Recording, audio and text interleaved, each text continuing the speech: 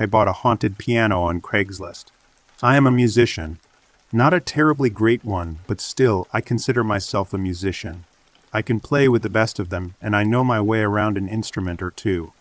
More importantly, I am a collector. A collector of various items ranging from the odd to the obscure. There is no rhyme or reason to my collection. It consists of anything uniquely interesting I can get my hands on. That is why, when I saw an ad on Craigslist for a vintage, rustic, red piano, I couldn't help but reach out to the seller. The ad's title seemed normal enough old piano, free to a good home. I had seen countless like it before. Nothing out of the ordinary, and certainly not something that would normally grab my attention. Still, I felt a strange need to click on it. Perhaps I was bored, or maybe I just wanted to see what it looked like. Either way, I gave in to my compulsion. Upon clicking the ad, there was no picture. Just an anomalous but intriguing story. It reads something like this. I am offering my piano to anyone who is willing to come and pick it up. It is very old, but still playable. I can prove this upon your arrival. It is red and bears no brand markings. This is because it was made by my great-grandfather. It is one of a kind. He went out himself and chopped down a redwood tree to provide the material to build it. It took him many days to finally cut down the tree, and much, much longer to finish making the piano. Nearly his entire life was put into this thing. I, however, have no use for it. It has been passed down in my family many times over. I have no wish to continue the tradition, and the piano is currently taking up too much space in my home. I want it gone as quickly as possible. You can reach me by phone at the number listed below. Serious inquiries only, Margaret. Reading the ad sparked my curiosity. One of a kind, redwood tree. How strange and absurd. I had to see this thing. If it was half as remarkable as Margaret's description made it out to be, then it was a must-have for my ever-growing collection. As such, I decided to give her a call. Margaret answered the phone after the first ring and immediately asked, Is this about the piano? She was thrilled to hear I was interested. I too was thrilled, happy to know it was still available. We set up a time the next day for me to come over and take a look at it. I hung up the phone, excited as could be. I had a feeling this piano would become the new centerpiece of my collection.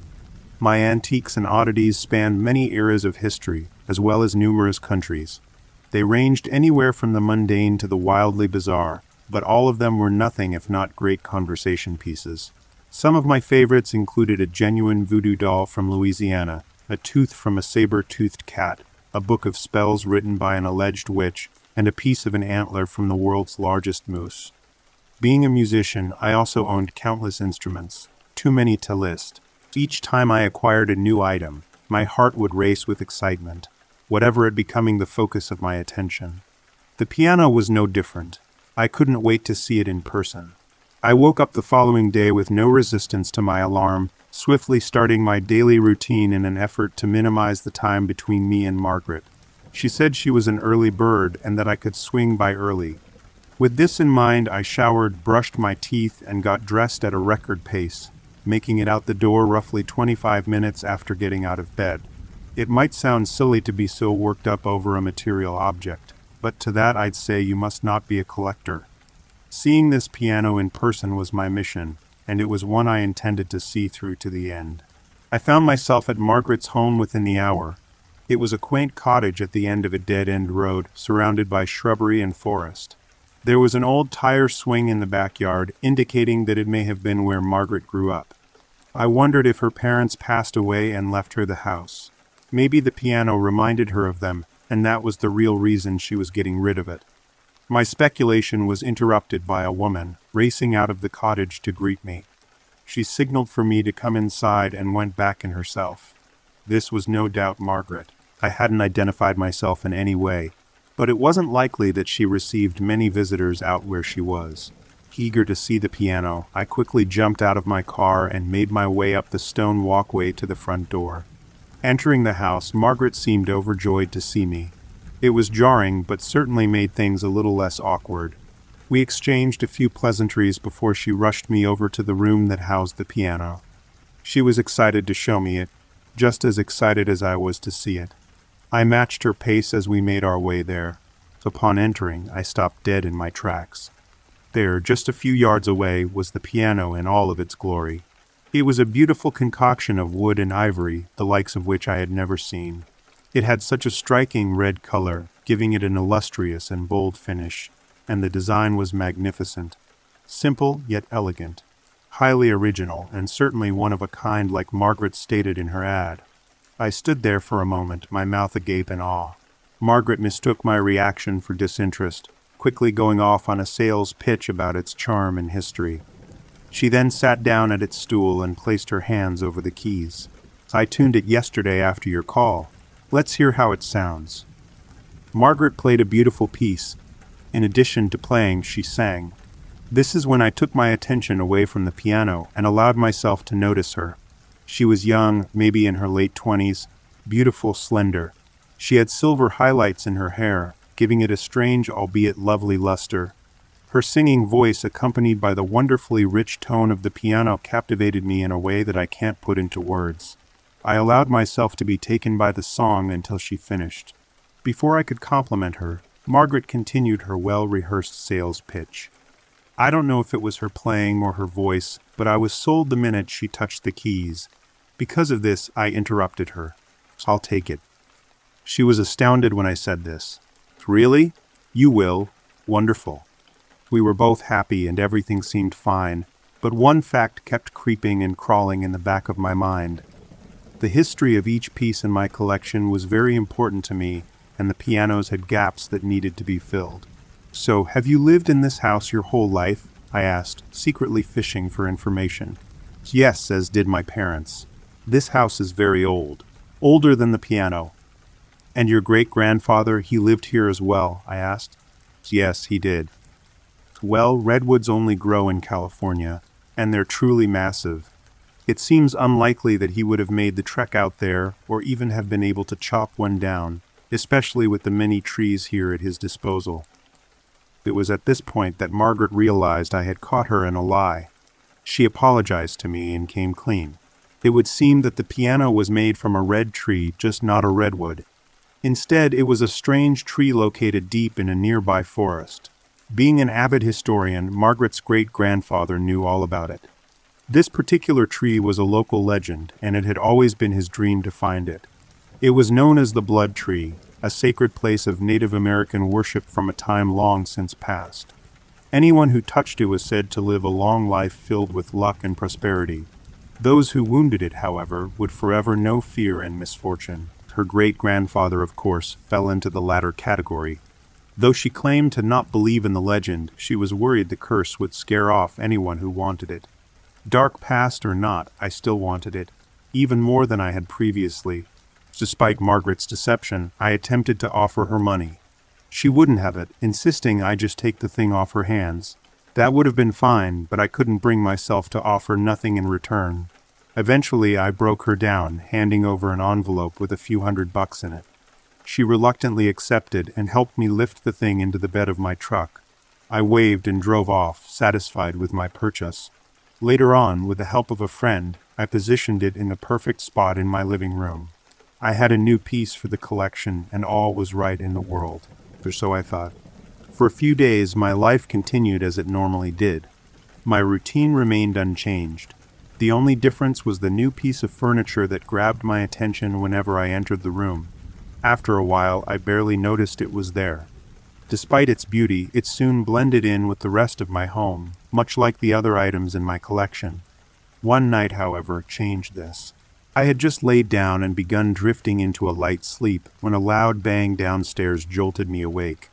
I jumped out of bed and took a moment to gather my wits. The sound was unmistakably the piano's fallboard slamming shut over the keys. That could easily happen on its own had I left it open. This was not the case. I hadn't played the piano once since I procured it. So what created the sound?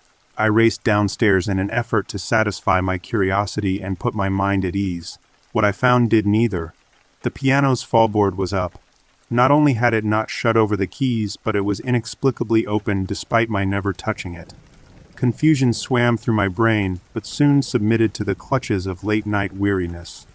In an effort to make sense of things, I shut the fallboard and chalked up the noise to an animal outside before venturing back to bed.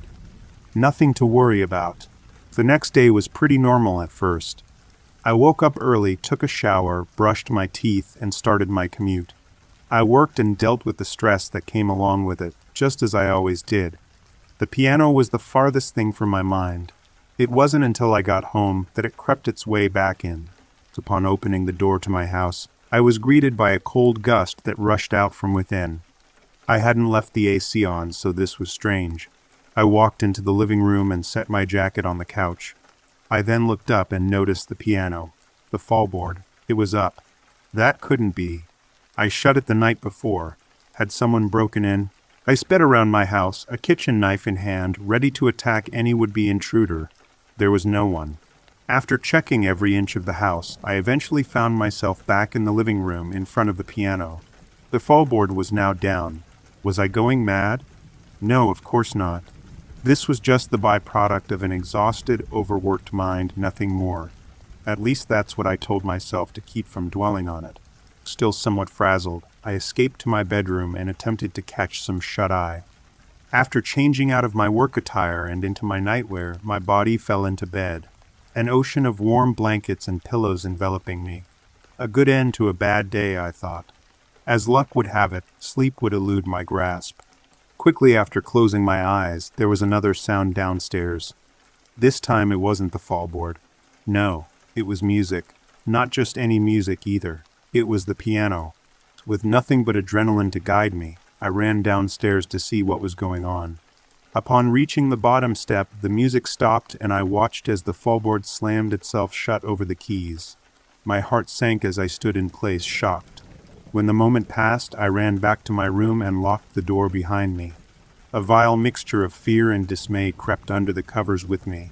Company often kept when hiding from creatures in the dark by products of overactive imaginations.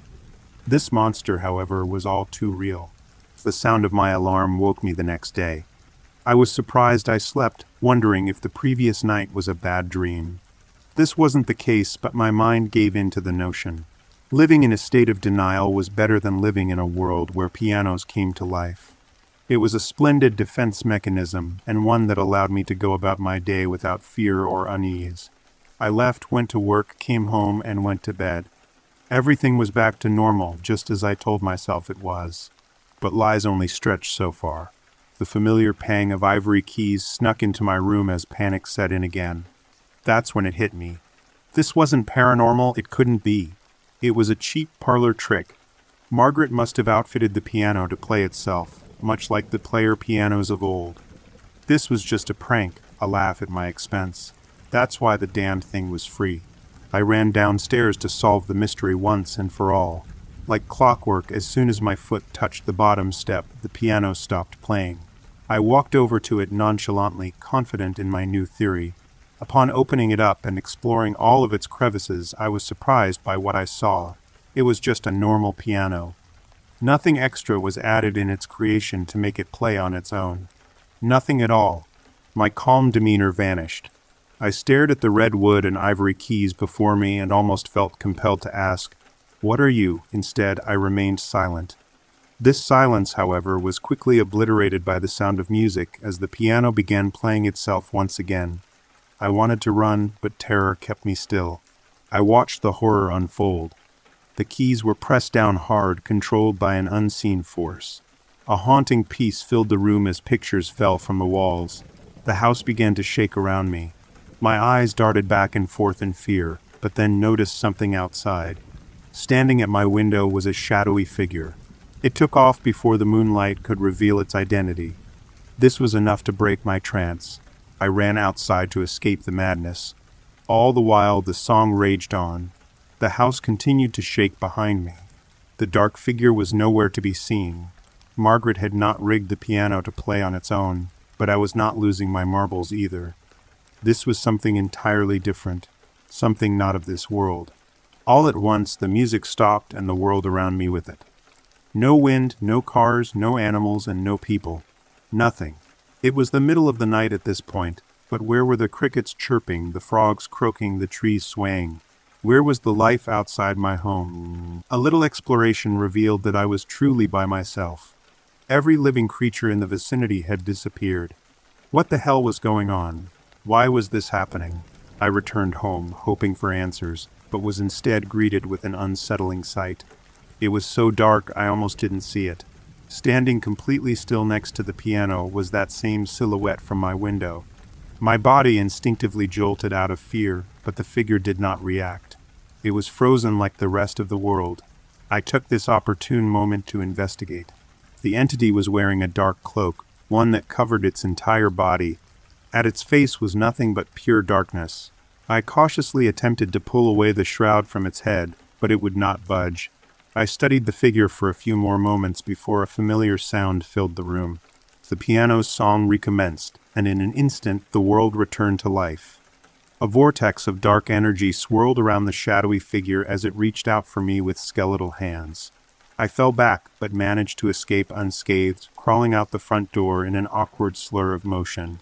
Rushing over to my car, I got in and took off with no specific location in mind, happy to be anywhere that wasn't my own home. During my drive, I weighed my options. Destroying the piano came to mind, but the risk outweighed the reward.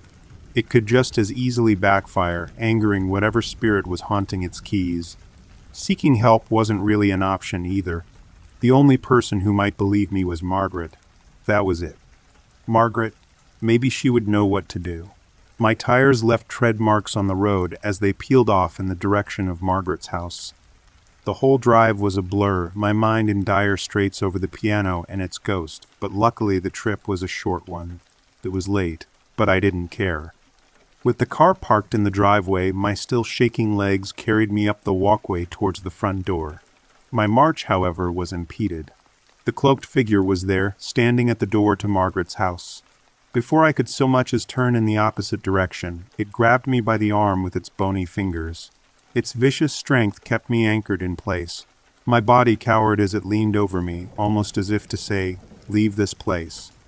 Its grip wavered for a moment, allowing me a small window of opportunity to escape. I hightailed it out of there without looking back. Defeated, I had no choice but to return home.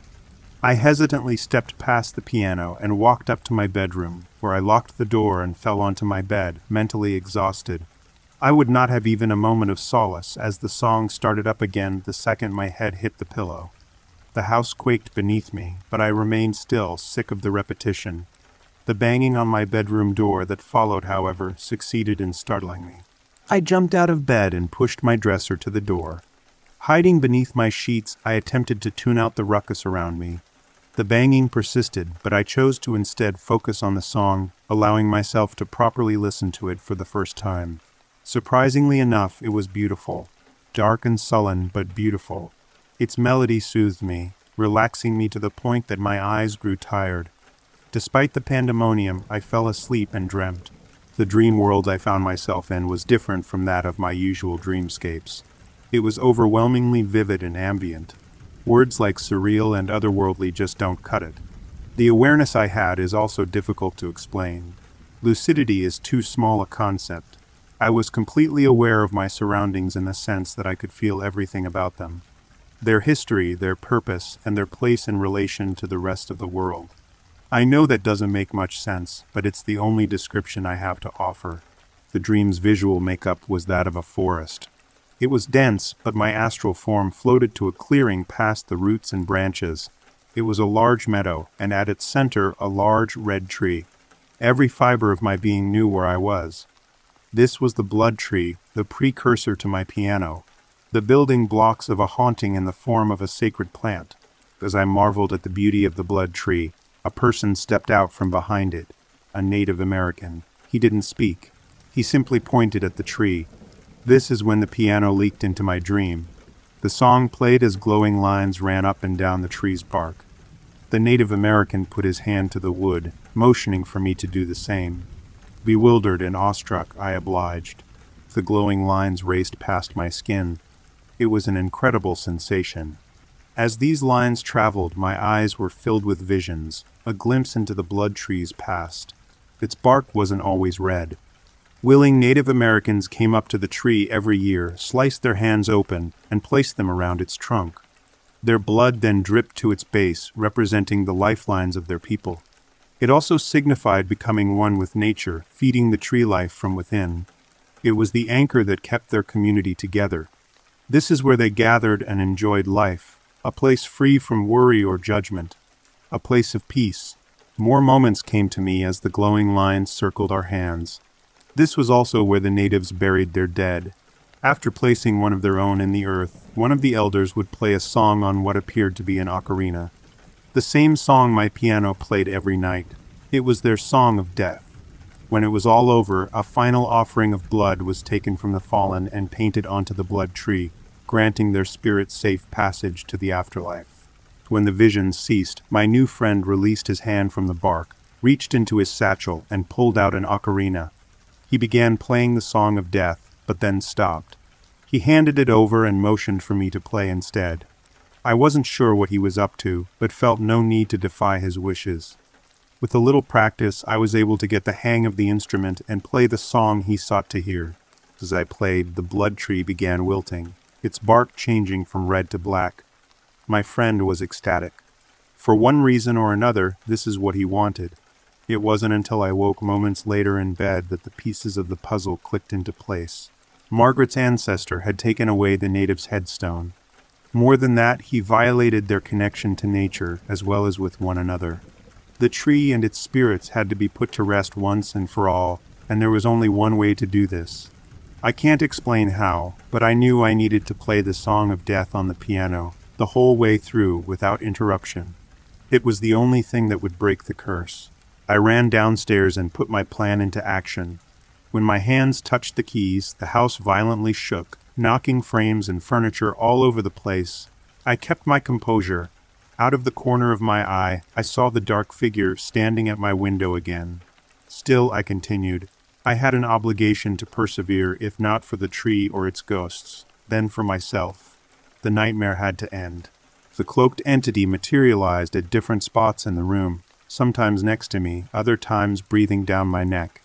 I paid it no attention despite my fear. I had come too far to let my balance waver now. Just as the shadowy figure sat next to me at the piano, I struck the final note of the song. The madness around me stopped. A weight was lifted from my shoulders and those of many others. I turned to the figure beside me and noticed the pelt of dark energy surrounding it was no longer there. It reached up and pulled the shroud from its face, revealing its identity. It was the Native American from my dream. He threw me a thankful smile before vanishing, happy to be released from his purgatory. I too was elated. The ordeal was over, and countless spirits could rest easy, free to cross over to the other side. My work was done. Months have passed, and the piano remains in my living room, quieter than it's ever been before. I even play it from time to time. If there's one thing you can take away from my experience, it's to be mindful of the things that go bump in the night. Some of them might just be wayward souls trying to communicate, begging for a chance to be heard by the living. Try your best not to be frightened.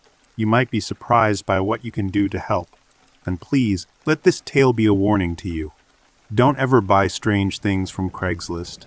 You'll thank me later.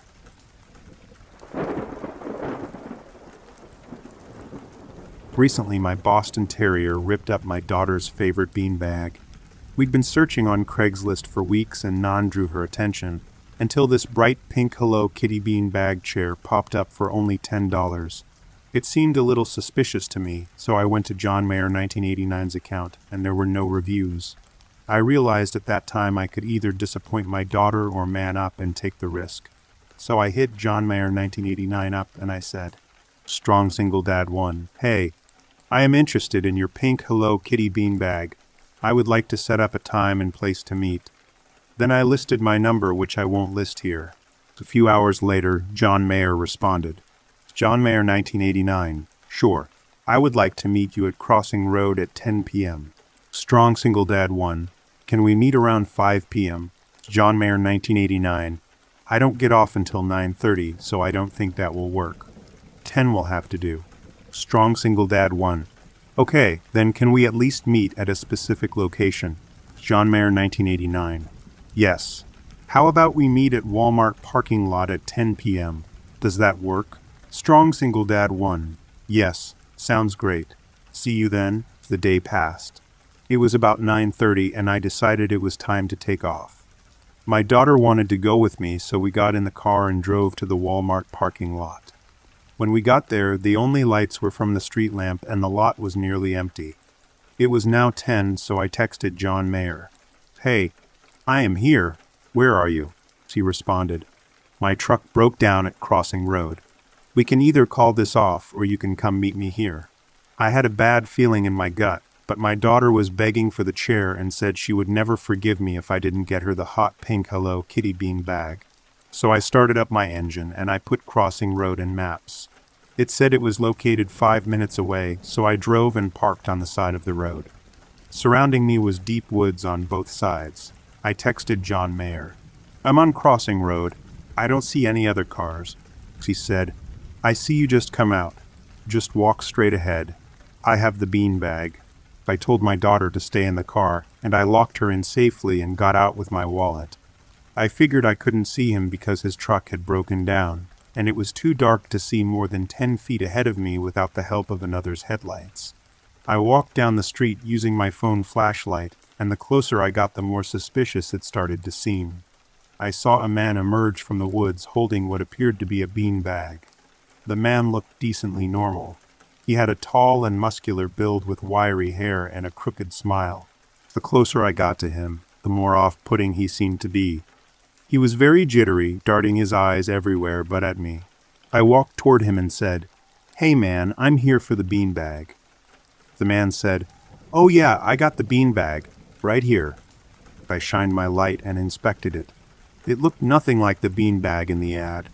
It was dirty and spotted with brown and red stains, and it looked like it had been staying in the woods with him for days.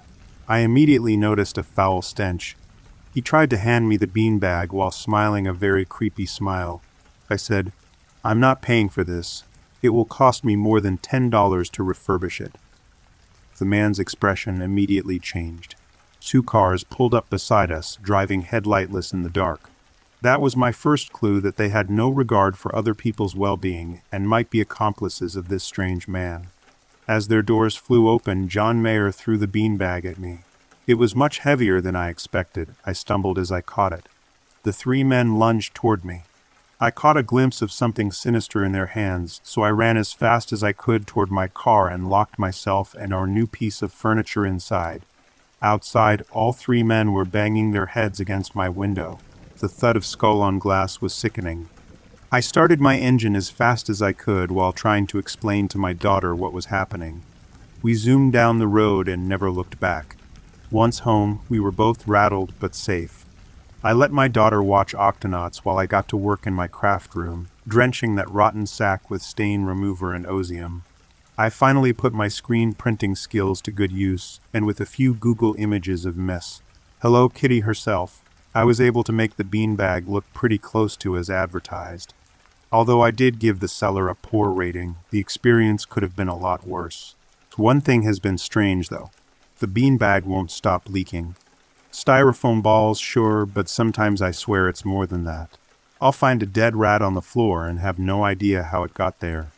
The other day I found a doll's head, and when I am very sure my daughter is asleep, I hear the scariest moan of a serenade float from under her bedroom door.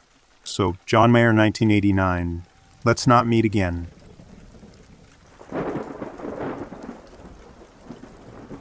I do charity work time to time and mental health is very close to my heart. I was curiously hopping about personal adverts on Craigslist and I saw someone asking for company before they passed away. It didn't say much more beyond this, aside from the call being over webcam because they couldn't leave their home. I responded because I had been interested in end-of-life care but I had always been quite scared about how it would affect me. I have cared for people who eventually died, but I never really saw it leading up to that point, as they were usually taken into hospices. A few days later they responded, and they told me their name was Gerald, and they were in their early 50s. We arranged a call over WhatsApp in a few days. So a couple of days later I sat down for the call at my computer and took the call. He was an older man, as said, short gray hair and slightly gaunt. His accent was West Country English, and he wore prescription glasses. He didn't appear unwell, but often people don't. We spoke for a while, and he explained how he made his money in selling specialist farming equipment, which was more interesting than I thought. His wife and daughter left him around a decade before, so he took his money and moved to Asia. I was curious as to what his diagnosis was, but it wasn't for me to ask. He explained, however, that he would not survive until tomorrow. This raised a flag because, from my perspective, he didn't seem outwardly unwell, but he was firm that this day was his last, which points to either paranoia or self harm. In this situation, I pressed him a little to ascertain his location. WhatsApp was encrypted, and the number he was using appeared to be Norwegian. I asked him about this, and he told me he was using an online SIM card and using a proxy. When I asked why, he explained that people were looking for him to take him away, and he would die before he would let that happen. I told him I would find him help, and I googled Unaliving Yourself crisis teams to call him, but he told me that if I stopped talking to him, he would just change his number and change his location via his VPN. Then things took a darker turn, and he took out a small revolver pistol and showed me it was loaded with three bullets. He said he wanted to show me his home and took me on a tour around his house. I was speechless really, I didn't know how to respond, but I thought maybe if I stayed with him I could help, because at that point I didn't know what I could do. His house was large and the garden was surrounded by tropics of some variety. Unfortunately, I don't know much about plants, so I couldn't work out where he was. He spoke about this being his legacy and how they wanted to take it away from him. He then told me he wanted to show me something, and he opened a door to his basement which had a large lock. Switching the lights on, I saw a woman and a child. He told me it was his wife and daughter. His wife threatened him with divorce and taking his daughter away and his money. The police were looking for them and the net was closing in. I wish I had have said something, but I was in shock. He asked if I was watching and then shot his daughter in the head. It was so surreal I knew it was real, but I hoped it was a sick prank while the woman screamed for a moment before he made me watch her be shot too. I was silent and felt incredibly sick. He put the camera down to face him and explained that they tried to take his legacy from him, but he knew he would never get away with it. He would end on his own terms. He leaned over to a jerry can and pushed it over. He lit a cigarette and threw the match near by the gas and it ignited.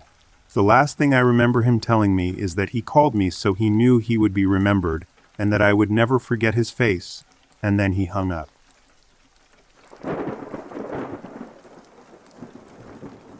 Kind of late to the party, but a year ago I traveled to USA to work as a J1. I needed accommodation, so I looked it up in Craigslist. After a few weeks of desperation, I found a lady who had a room for me for $125 per week. It was 15 miles away from my workplace, and I intended to go on bike. This would be my first error, due to I would have to wake up at 5 a.m. to be at work at 6 a.m. Massachusetts mornings are cold even in summer, and I'm not fit enough to ride 30 miles per day. When I got there, the house was just a mess. The pictures I saw were from years ago before she lost his husband to a heart attack. I didn't have a proper bed, just a mattress in the floor. Not even a table with a chair. Welp, those were going to be a long four months, but as optimistic as I was, I thought I would survive. A couple days after my arrival, at least three of them, she was drinking beer non-stop. On the fourth, she tried to flirt with me. I haven't described her yet. She was a 45-plus-year-old really fat woman.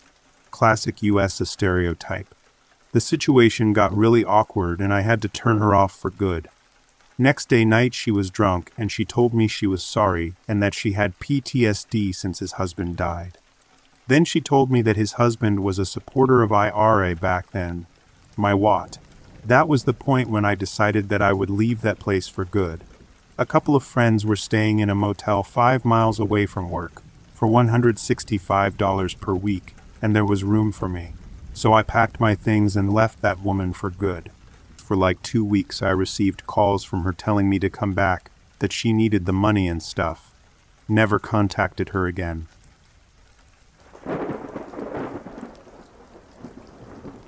My sister's cat had run away. It was five months later, and she was ready for a new furry friend.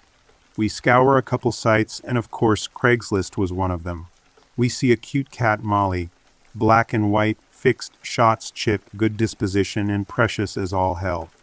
Now we aren't totally naive, we expect to meet them, and maybe she's missing a leg or is feral, is in a meth den, etc. We are no stranger to the weird Craigslist stuff.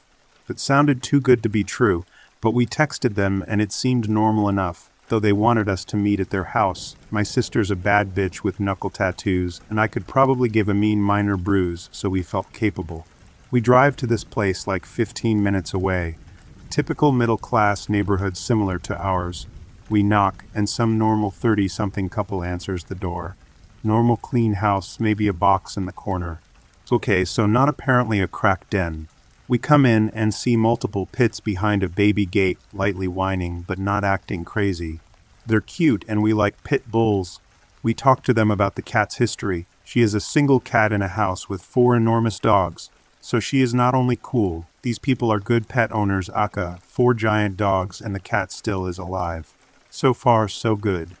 We pick her up off the couch, hold her, and since my sister was planning on having children soon, she did the let me bug you a lil the way a baby would, pull an ear, paw, etc. test. She acted totally cool with it. She meowed a lot, was cute, didn't act crazy at all. Yay, we load up her food, cage, bed, etc. and take her home. She slowly becomes the subject of our affections. We take pictures of her, play the works. Molly is the cutest damn cat ever. A couple months and she starts acting. Weird. Midnight yowling like an owl being gutted or something. My sister has had cats and said, uh, I think she's in heat, which is odd because she was supposedly fixed. She proceeds to be in heat for weeks, out of it for a week, then right back and after that. We are haunted by a yowling demon, and we know we ought to get her fixed, but saw an ad that said in a couple months there would be a free spay or neuter event at the animal shelter. We figure we save the $200 $400 and live with the haunting a bit longer. I mean, it's not like she's injured or something, she just hasn't been fixed. She was a little odd. She reeled her head back and rolled it and was kind of like an alien chanting. Nice acted basically like a dog with strangers, would run up to them and meow incessantly. She bites your nose when you sleep to remind you to feed her. She isn't terrible, but to people with less patience, we can definitely see why they gave her away free. The time comes around and we take her to the vet. They tell us that the owners 100% lied to us. Not only is she not fixed, she's not vaccinated and not chipped either. My aunt is a vet and told us that she probably had a neurological condition as well, based on her strange body movements. We fix her and she proceeds to gain like 15 pounds. We were feeding her the same amount and learned that sometimes fixed cats get fat. But I mean, she was slinky when we got her. Now she is just kind of pudgy mama cat. Fast forward, sister has a baby and Molly is the ultimate protector of her. Baby has started grabbing and Molly hasn't gotten mad at the baby once, though a couple face pullings and she scampers off. We actually learned that she is a rag doll. The owners got her in a shelter and they hadn't paid much attention to what type of cat she is.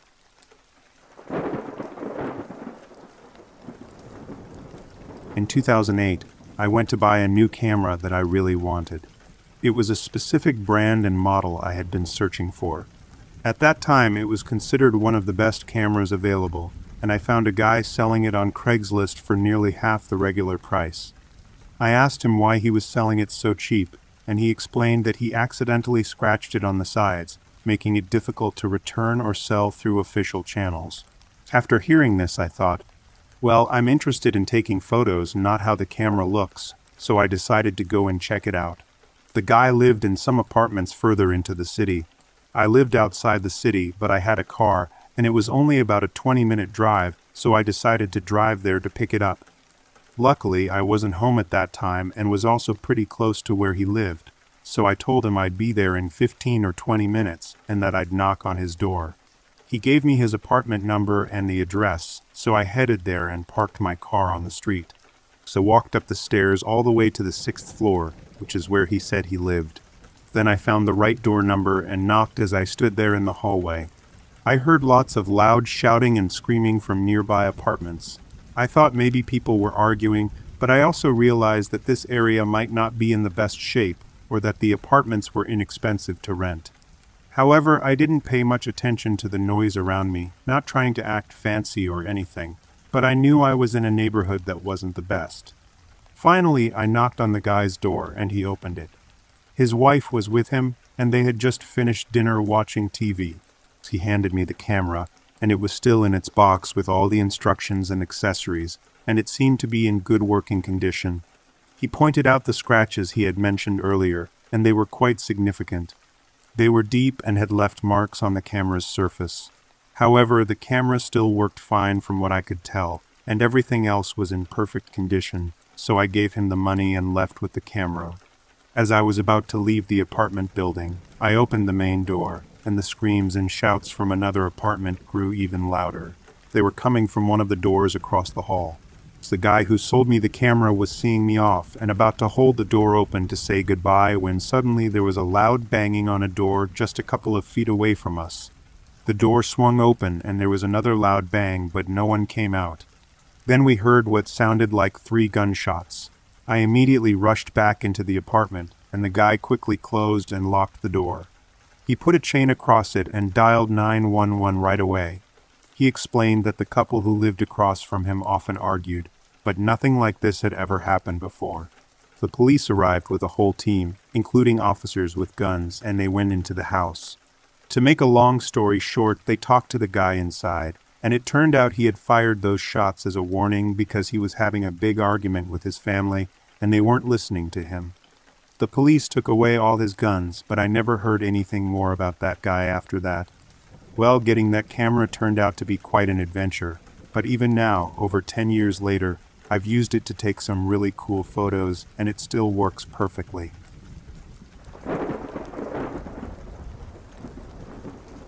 I had a 27 iMac for sale on Craigslist, and apparently the price was too cheap because I was receiving texts almost immediately after posting it. After about the sixth or so, I said the first person to actually show up will get it. I've had many people no show me with Craigslist in the past. To my surprise, a nice older couple showed up within 30 minutes, paid for it, and went on their way. I promptly deleted the ad and texted the other people that it had been sold. About three hours later, a large man shows up at my door asking about the iMac. I told him it was sold hours ago and that he should have gotten my text. He tells me that he responded to that text that he was on his way. I nicely described to him what first come, first serve meant, and he begins to shout. I was going to the bank. My mom loaned me the money. Why did you sell it? I apologized and asked him to leave. As I go to close the door, he blocks the door with his foot and asks how he's going to tell his mom that it was sold. I told him it wasn't my problem and to get out. The man angrily begins pacing around my front yard for at least 10 minutes screaming to someone on his cell phone. He then sits in his car for an hour. I try to ignore it, but eventually I walk outside to confront him, and he speeds away, peeling out his tires. After that, my neighbors thought he was some weird estranged friend or something. I stopped giving my address away after that.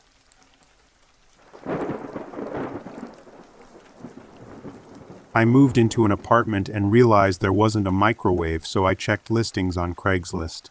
Found one that said make an offer, so I texted an offer for $20. Asked for a picture of the inside, the posting only had one of the outside, and he sends me a mostly clean looking microwave interior. We meet up at a Target parking lot, and it's just turned dark, so I give him the $20, throw it in my car, and go home. I notice it's kinda dusty, so I figure I'll have to give it a good cleaning when I get home. Bring it inside, and the entire top of the inside of the microwave is caked in red gunk, so I grab some disinfectant and start scrubbing. At least it was only $20, right?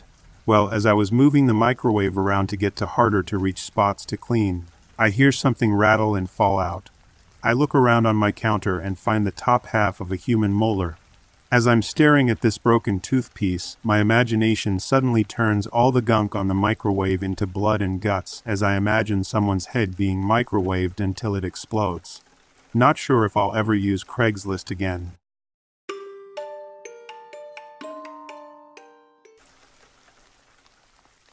When my friend told me that he hooked up with a random girl from Craigslist, I thought he was insane, but I'm sure most geniuses sound crazy. Even after he attributed his great night to luck, I still felt inclined to try it.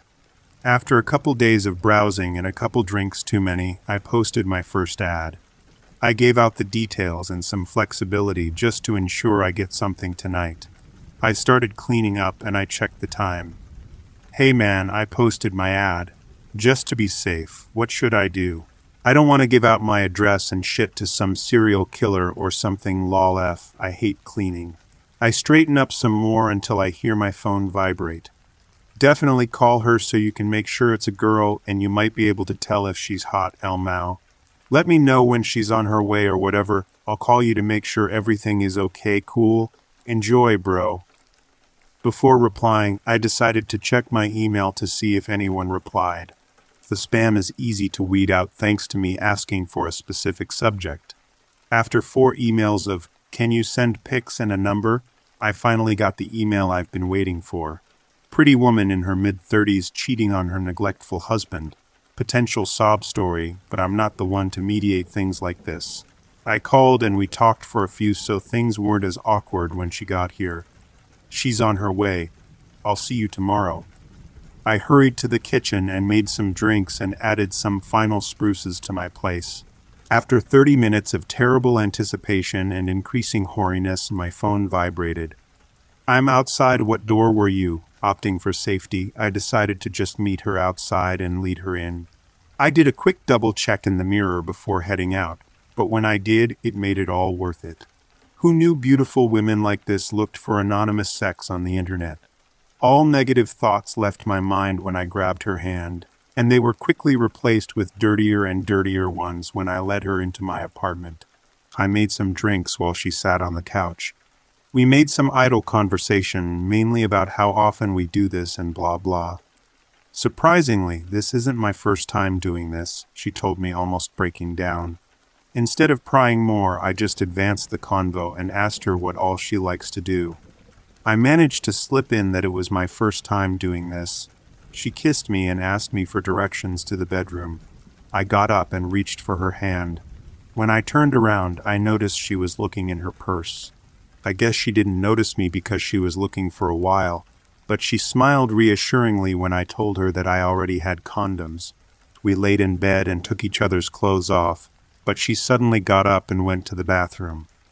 Could you get me another drink, please? She called out from the bathroom. Same thing you were drinking. I walked out and laughed at craziness of the situation. I don't know what compelled me to look through her purse, but I'm glad I did. I walked back into the room right as she came out looking worried and asked if I could call her cell phone. Of course, I happily obliged, and while she looked for that, she asked me if I could grab her purse from the front room because she had a surprise for me. Hey, is this you calling me? This isn't the same number you gave me, she laughed. Oh, yeah, my friend told me to do that for Craigslist until we meet, I said as I grabbed her purse. Really, why? He said it's because you really, really shouldn't trust people you meet on the Craigslist, I replied as I locked the door.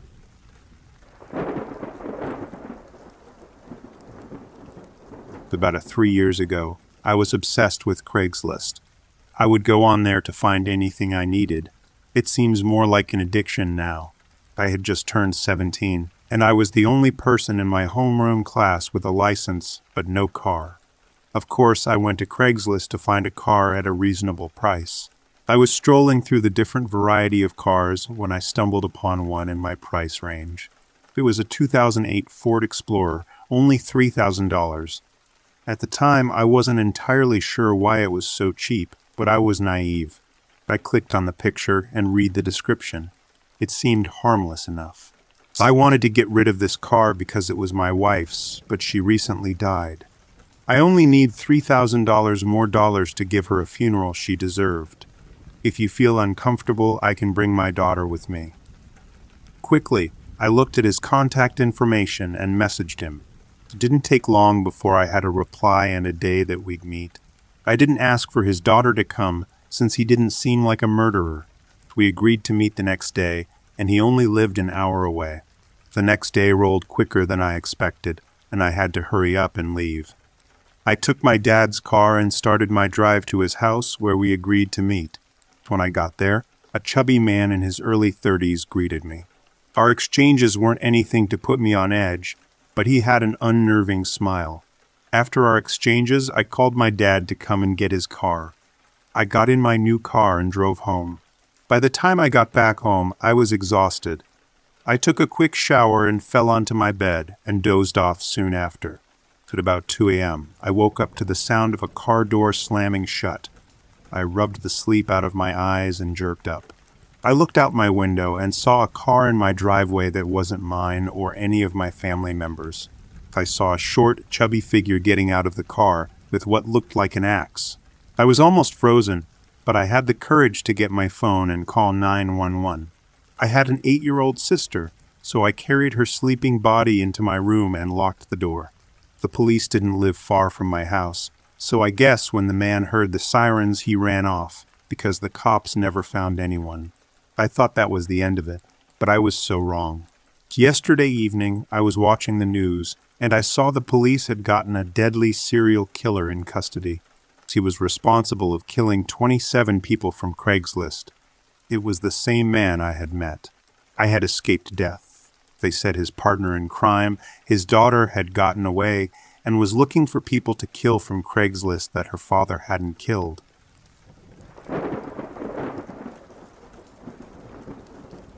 My family had just gotten into skiing last year, and instead of buying new equipment, I decided to get some used stuff to start out. Renting equipment was nearly as pricey as the lift ticket. Skiing equipment is just so damn expensive, and had hoped to get into the new season with something that would last my kids for the whole season. I was visiting my office in early January and had looked up some deals on Craigslist and hoped to find some decent cheap equipment. You see, I travel a great deal for work and occasionally go to my office, and since I was in town and heading home for the weekend, I thought it would be a good idea to see what kind of deals I could find locally. Boy, do I regret that decision. I was scrolling through the listings and came across a promising listing complete with pictures and lots of equipment. I replied to the posting via email since there was no number to call. I got a reply within minutes and was given an address to get to the place I made arrangements to meet up with him the next day on my trip home from the office. After work the evening I was heading home, I drove to the address and knocked on the front door. The place was a large older house not very well kept and secluded from the other houses nearby by trees and a rather large hedgerow. The porch was littered with garbage bag full of who knows what, and the odor was something that I have never smelled before or would ever want to again. The guy answered the door and was about the scruffiest, shabby dude that never slept in a cardboard box that I have ever seen. We shook hands and he invited me into his home. I'm not going to lie to you, this dude creeped me out. I should have just made some kind of excuse up and high-tailed it out of there. The guy explained to me that all the skiing stuff was in the basement and began walking away, motioning for me to follow him. I reluctantly did, keeping my head on a swivel and keeping close to him in the narrow, cramped hallway. He led me through the kitchen, which was littered with dirty pots and pans as well as trash that looked like it hadn't been taken out in weeks. He stopped at the top of a dark stairway, flipped on the light switch to a naked bulb that lit the landing about six steps down and began descending the short, short flight of steps to the landing, and then turned and began to slowly walk the remainder of the steps into the basement proper. As I followed him, I tried to keep a conversation going and tried to keep him from hearing my heartbeat, which I thought he could surely hear due to its beating so fast. Watch where you walk down here, there are dangerous things around he said as he turned his head back towards me. Yeah, no shit, Sherlock, I thought to myself. Like the room full of machetes and chainsaws. I wondered where he kept his mummified mother's corpse sitting in a wheelchair. Yeah, I said, chuckling. You sure do have a little bit of everything in this big old house. I have lots of treasures in here, some more precious than others, he replied with a hint of sarcasm. I'll bet, is the only reply that I could give my stomach tightening. We got down to the bottom of the lower staircase, and all I could think to myself is this is like the silence of the lambs, and this dude is going to tuck his wiener and whip out the lotion at any second. We passed several closed doors, and I tried to guess which one had his skin suit behind it. This place was creepy, like really disturbing. I regretted every step I took behind him. The hairs on the back of my neck began to rise, and that gut churning feeling grew with every step. I began to sweat, not much, but enough to make me wipe my brow. Hot enough for ya? he asked, noting my forehead beating with sweat. Woo-wee, is it warm down here? I exclaimed. Heat rises, that's why you keep it so warm down here, huh? I asked. Gotta keep it hot. I got too many perishables down here. He replied, Come on, it's just right up here. He indicated with a wave of his hand. There at the end of the hall was a large room brightly lit with an impressive array of gently used skiing equipment. I walked over to the neatly arranged rows of boots, poles, and skis and began browsing looking for anything that the kids could fit into. It was really warm down here in the basement, like way too warm. I began to strip off my coat, and in while in the middle of it thought that it would not be a great idea my phone, wallet, and car keys were in the pockets. I just unzipped it and hoped that I would be able to find a couple pairs of ski boots that my kids would fit into for the season and anything else we would need to get into the powder. Kids, they grow like weeds, don't they? You really have an impressive collection of high-end ski equipment here. Where did you get it all from? Do you ski up north in the valley? Do you instruct people? I asked. I was thinking that this guy didn't look like he could rub two pennies together. Was all this equipment stolen? Where the hell did he get multiple pairs of $800 ski boots? Those skis are like $1,000, and he has four pairs of them. I looked around and things weren't adding up in my mind. Just as he was about to respond to me, there was a loud banging noise from the back of the room behind a large partition or wall that was obscured from my view. Must be the furnace. It makes all kinds of noises when it kicks on. The guy said. I chuckled nervously and nodded and went back to trying to come up with an excuse to just tell the guy that nothing looked that it would be the right size and boogie the F out of there. I heard another louder bang from the same direction. You should really take a look at that. It doesn't sound too good. Maybe I should just come back later. I said, trying to keep my mind from entertaining all the various ways that he would dissect my corpse. Yeah, give me just a minute, I'll be right back. He said and stalked towards the sound, his fists balling up. Don't go anywhere. The inflection on the word anywhere was, let's be honest, ominous to say the least. Curiosity almost killed the cat in this situation. I crept closer to the partition, cat-like in my stealth, strained my ears, and heard the guy whispering in a low, angry tone to something and a few loud, sharp thuds on something metallic. The guy came around the corner just as I turned around to sneak back to the ski equipment. Were you spying on me? he asked with venom dripping in his voice. No, not at all. I was just looking to see if I could lend you a hand. Then you came back around the corner. I blurted out, not thinking of anything better to say. I don't believe you. You were spying on me. What did you hear? What did you see? he roared. Nothing. I.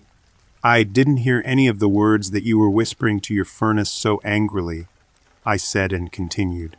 Hey, old furnaces are a bitch and need some tough love sometimes. I stammered, holding my hand up and shrugging my shoulders. At this point, I was slowly backing away from the guy, and he kept advancing.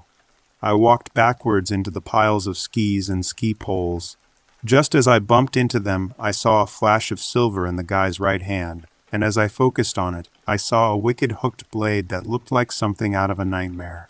I held my left hand out in front of me and felt around behind my back for something, anything to use as a weapon. The guy took a step towards me, brandishing the knife with evil intent.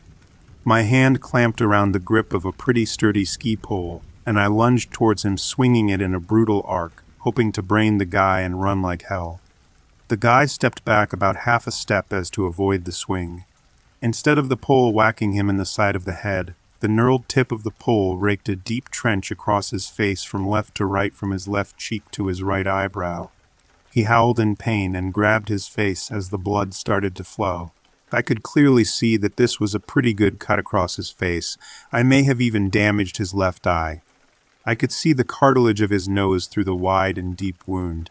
You bastard, it'll make you wish that you have never been born, the crazed man screamed. I'll show you the real meaning of pain, he continued. Like this, yelled right back at him. I swung the pole in an upward trajectory into his crotch, and as he doubled over as the pole destroyed his manhood, I grabbed him by the back of the head and rammed my knee into his face. Bruce Lee would have been proud of me on that one and ran like the devil himself was chasing me, up the stairs and through the rest of the house. I burst through the front door, ran for my car, and dialing 911 as my feet slapped the concrete sidewalk. The police showed up within a few minutes, blue and red lights strobing in the early evening. He's in there in the basement. I hurt him pretty badly, but I'm not sure if he's down for the count or still kicking. I explained to the two burly officers that came running up to me. We will take it from here. The closest officer told me and drew his weapon from his holster. Just stay back and don't leave the area, he instructed. I walked over to my car and stood there shivering in the cold twilight, my heart still racing like a thoroughbred. Two more cruisers showed up screeching to a halt, lights ablazing and sirens wailing. I pointed to the house excitedly and gave them a thumbs up. About 15 minutes later, a total of six officers were in the house, and after about another five, the front door swung violently open and three officers were busy dragging the psycho out in handcuffs. As he passed me, the guy looked at me, and if looks could kill, I would have been dead on the spot. His face was a mess of blood and torn skin. Looks like the cops gave him the once over down there as well. You wouldn't believe what we found down there.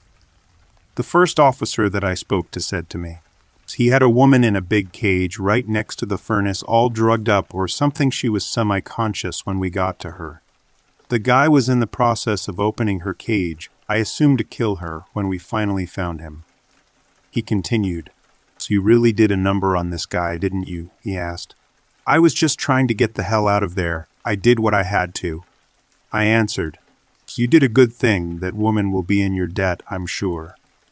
The officer said, I didn't know that she was there, or else I would have tried to help her.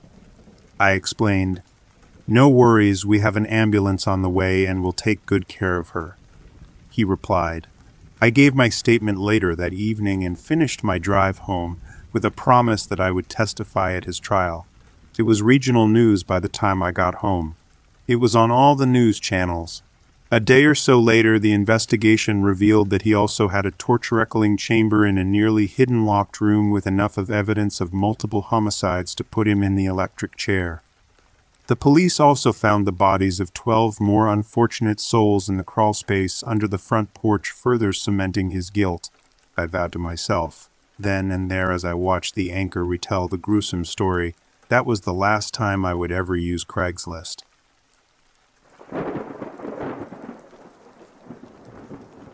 It's obligatory, not me, but my girlfriend.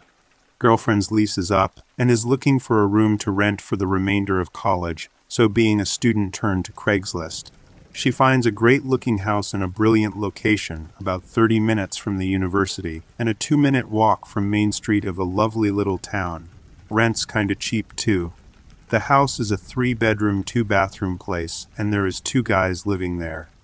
One was 24 and the other was 35 or close, can't remember exact age, who both work together. Girlfriend goes for a visit and meets said guys, thinks they're pretty decent, but the older one is a little odd. She decided to move in. All goes well for a couple months. She gets to know the guys better, and turns out older guy has been homeless before and had a pretty rough start to life, but now he's firmly on his feet. She chalks his weirdness up to that. I come for a quick visit and meet these guys myself. Younger one is great, very talkative, and generally a nice guy. Older one is very quiet and keeps to his room a lot. I thought he was pretty weird too. I know you're waiting for a horror story, so here it comes. About a month or so after my visit, I get a phone call from my girlfriend who is in tears. She said that the police have raided their house with a warrant for CP. The police has seized everybody's electronics, laptops, tablets, etc. Everyone in the house is like WTF. Obviously, my girlfriend was absolutely terrified. She knew it wasn't her, and I think the police did too. She managed to get her stuff back pretty quickly after a few trips to the station. Me and her both guessed that it must have been older guy. Turns out it was older guy. One day he packed up a backpack of stuff and just left the house left his keys on the table never to return. We suspect he was basically running away. He left all of his other stuff in his room. Remember I said the guys worked together? Younger guy told us a few days after older guy had run off. That older guy went into the office and basically admitted it was him, and that he's been doing it for a while, and that he's going to turn himself in. Naturally, he got fired on the spot. Obviously, he didn't turn himself in and has since vanished.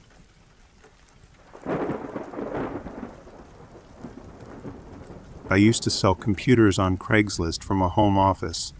I never had a problem with people in person, but I had a phone call once that was creepy. This guy calls up and asks about a laptop I had for sale, and after some typical questions, he asks, Can I get prawn on it? I said, Sure, there are lots of sites. But can I get? And he begins naming off genres of prawn. I got annoyed and I said that he could. This went on for two more rounds before I said, Enough is enough, the laptop wasn't for sale anymore, and I hung up. Two minutes later, the same call comes in and I ignore it. The guy proceeds to leave a minute long message about how I'm not being fair and I was making him angry. He never called again.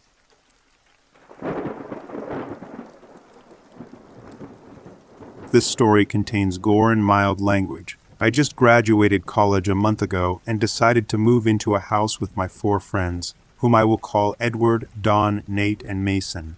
I've known them since a very early age. Moving on with the story, this house isn't in a good neighborhood. It's a small five room, one story house and has a little backyard we plan to use for parties and cookouts. The house was built in the 50s and was completely empty when we bought it. One of the first things we almost got was a couch. We were sitting on the floor of Mason's bedroom looking on our only computer, an old 2007 MacBook he received when his parents passed away in a car accident. Scrolling through the furniture section of Craigslist, we spotted a couch. The couch, it was $20 mint condition, vintage leather, and everything you could wish for in the perfect couch. We sent the owner a request to his email, mikepowell at yahoo.com. Nothing strange. He sent us his address, and we were off the next day. Edward looked up his address on Google Maps. It was 10 miles away from us in an apartment condo downtown. Our Ford F 150 was out of gas, so we rode in Don's Prius. During the first half of our drive, our car ran low on fuel, so we went to the nearest station, a sketchy Exxon building. But every gas station looks kind of ghetto, right? Mason and I were digging some honey buns and went into the store while Nate, Don, and Edward were doing whatever. I was casually strolling toward the building when I noticed something strange the lights were off. How could a gas station be closed at 12 noon?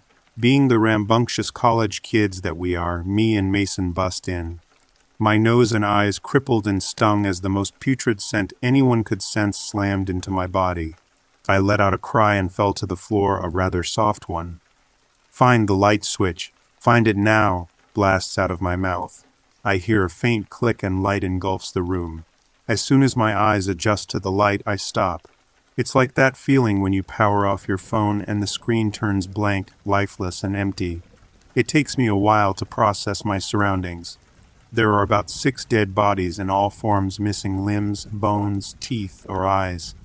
The soft body I fell on wasn't the floor. I look at where my hands touch the body. A tooth was stuck in my wrist, and an unpleasant dark red blanket of blood stretched over my hands. Mason and I busted through the door and ran toward the rest of the group. We explained what happened, hopped in the car, and sped off. I looked back one more time at the gas station. I saw one eye peering through one of the window blinds. I closely observed and noticed the area of the blind that was opened is enough to fit two eyes. When we arrived at the apartment, I wiped off my bloody arms in a stream across the road. The apartment was five stories high. Mike's room was room hash 327 on floor 2. My group opened the doors and set foot in the lobby. No one was there. We located Mike's room and knocked on the door. Hello, we hear. It must be Mike. Yes, we are looking for Mike Powell. He is selling a couch on Craigslist. There is no reply. I notice a peephole, and due to me only being 5 FT, Three basically short for an American adult if you're foreign. I stand on the tips of my toes and look through. Nothing but a bed and heads. Heads everywhere, lined up against the wall. Some still had their spines hanging out of their necks. Shing! The sound echoes through the hall, piercing through my ears. Someone pulled out a knife. I turn around to see Mike. His lower jaw is completely missing, and he has a hole through his chest, exposing his rib cage and lungs. Surprise, he says, as his one eye turned toward Edward. He stabbed straight through his forehead. Me and the rest of the gang managed to safely get home. We never got the couch.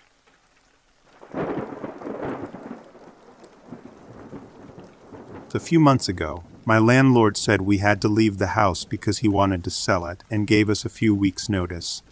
At that time, I lived with four housemates and was really close to three of them.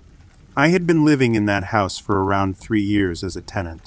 I don't know if the owner had money problems or not, but one day he came and gave us all letters saying we had to leave. So I went to stay with my parents for a few weeks while I looked for a temporary place to live. It meant I needed to find somewhere affordable and close to my work with a similar budget. At that time, I had a part time job at Starbucks and was interning at a company. It was a stressful time and I didn't have much free time. This situation was just another challenge in my life, but I handled it quite well as my parents were there to support me. Sadly, I don't talk to those three old friends anymore, and I kind of miss them. Now, after moving in with my parents, I realized I wish I had kept in touch with my old housemates. Let me tell you about my new situation. The house I used to live in was only a five minute drive from my workplace, and my parents' house was a 25 minute drive away, so it messed up my daily schedule, and a few times I got to work late. I understand I needed to be more organized, but I was only 19. I had trouble getting up on time and felt tired. Most teenagers go through a phase like that, and mine just happened a bit later. The truth was, I had to find a new place quickly because this situation wasn't working. Every day, going from my parents' house to work, I ended up being either 20 minutes late or at least 5 or 10 minutes behind. My boss was very strict, and he used to give me angry looks even if I was just one minute late. It became too much, and during one shift, he called me aside to talk. Even though my boss and I had a good relationship, he told me that being late so often had to stop. He said it was causing problems for the company, and if it happened again, he might have to let me go. That was a wake up call for me, and I knew I had to make a change. So that evening, I went on Craigslist when I returned home to my parents' house after my shift. I found plenty of rooms available for rent, and they were all within my budget. The main thing I needed was a place close to my workplace. Many were near the city, which was farther than my parents' house, so that wouldn't work. However, I found a couple of options that seemed promising. One of the places I considered was literally across the road from my workplace. I hesitated for a moment, thinking it might be too close, but in the end I didn't really mind. Now I had no excuse for being late to work because it was just a short walk away. It was that simple. I got in touch with the person who posted the room rental ad, and it turned out they were from a company working for the landlord. They told me I could either visit the place or sign the contract right away, based on the pictures. I didn't feel the need to visit in person.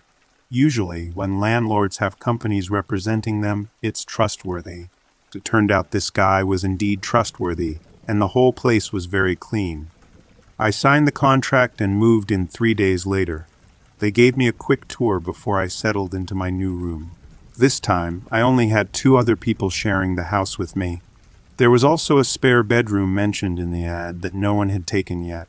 One of my housemates seemed to be a girl around my age, and the other was a guy who looked like he was about 50, maybe even 60 years old.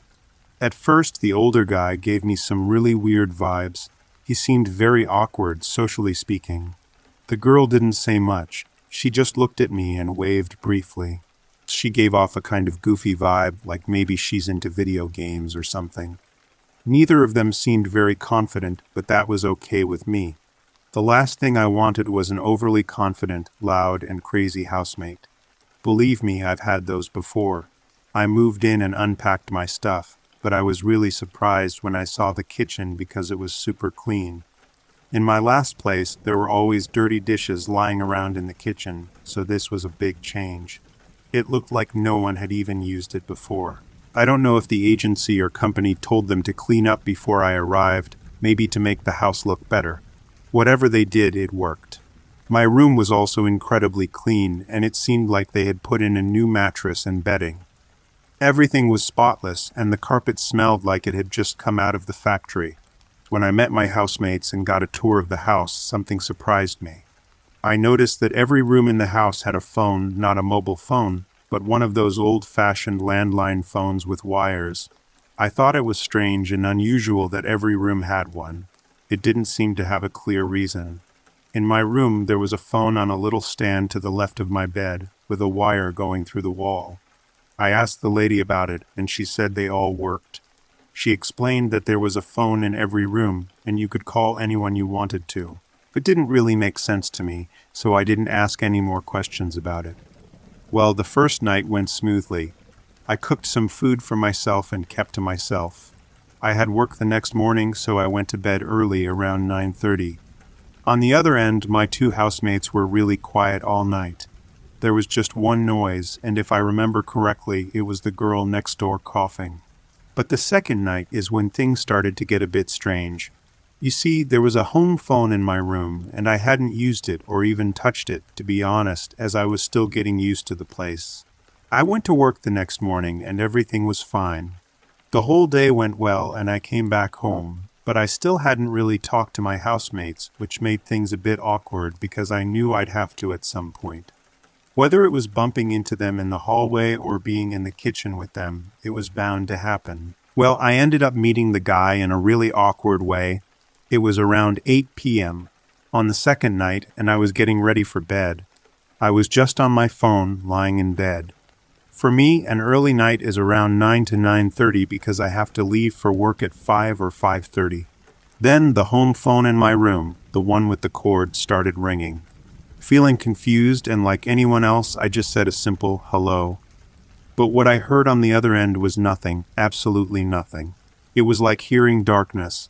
Not a sound, no static, no breathing, no talking, which really gave me an eerie feeling. I put the phone down and hung up, then went back to my bed and thought maybe it was just someone dialing the wrong number or one of those annoying calls trying to sell me stuff. I was on my phone for about 20 more minutes when the same phone rang again. I started to think I should unplug this phone. If it kept ringing all night, it would definitely wake up my two roommates next door. I answered the phone again, and once more the same eerie silence. Nobody answered, and there was no sound, just silence. At this point, I was getting pretty frustrated, but I realized I couldn't disconnect the phone because it was connected through a wire in the wall. It seemed like someone had drilled a hole just big enough for the wire to pass through. Unless I cut the wire, which would be illegal, it meant I couldn't stop the phone from ringing. The phone stayed silent for the next three hours, and I managed to get about two and a half hours of sleep. But then it started ringing again at midnight. This time I had had enough. I walked over to the phone, picked it up, and said, Hello, who is this? This isn't funny. Please, can you stop calling? This time I heard heavy breathing on the other end, like someone was breathing heavily or was excited. This made me feel really uncomfortable, so I said, Who is this? Who are you? Why are you calling me? But they just kept breathing heavily and didn't answer. It was so creepy that I hung up without saying anything. Only a minute later, the phone rang again. I answered and started shouting into the phone, What do you want? Please stop calling me. But all I heard was more heavy breathing, just like before. The breathing was deep, slow, and it sounded like a man. I didn't know what to do except maybe cut the wire, but I was worried about getting in trouble for that. I decided to ignore the phone and take a deep breath to relax. I thought that if I didn't answer, maybe they would stop calling eventually, so that's what I did for the next hour. They kept calling almost every single minute. I couldn't help but wonder what was going on here. Around one o'clock in the morning, I heard a knock on my door. I thought they had been patient since the phone had been ringing for over an hour by then. It seemed like they were finally coming to talk to me. I quickly put on my slippers and threw on a hoodie to look a bit more presentable. I was ready to apologize and try to be as nice as possible. When I opened the door, I saw my 50-year-old housemate. He had taken the landline phone from his room and dragged the wires all the way across the hallway. He was holding the phone to his ear and breathing heavily into it. That's when I let out a scream so loud that I couldn't even hear anything else for the next few minutes. My knees were trembling and I tried to get back to my room, but it was really hard. When I finally got back to my room, I almost fell down. I quickly slammed the door and locked it. I didn't know what to do next. I rushed to my bed, where my mobile phone was lying next to it. I quickly picked up the phone and called 911.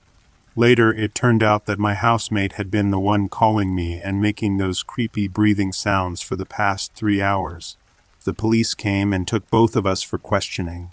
I explained my side of the story, but he didn't explain anything. According to the police, he just sat in his room in silence. He wouldn't talk, he just kept breathing heavily. It gave me the creeps. So that night, I moved back in with my parents. The police took us in around four in the morning after I gave them some statements about what had happened. They were really worried that it could have turned into something more serious, so they detained both of us. Well, after that, I went back to live with my parents, and even now, a whole year later, I still live with them. That night was really traumatic for me, and I have no idea what was wrong with that guy. I don't know if he just wanted to be friends, had a mental illness, or if he was genuinely creepy and planning something else.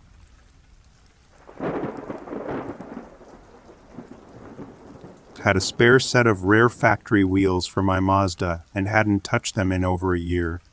Drove an hour to meet someone halfway at a well lit Walmart after numerous confirmations that his Mazda had the same bolt pattern and a close enough offset that they would fit. Idiot shows up in a Honda without even the right number of lugs and starts saying that they aren't the same wheels from the ad. Then he says they may fit his other Honda that's at his house, half a mile down the road. I told him thank you for wasting my time and drove away as he called and texted me that he was going to follow me and get those wheels.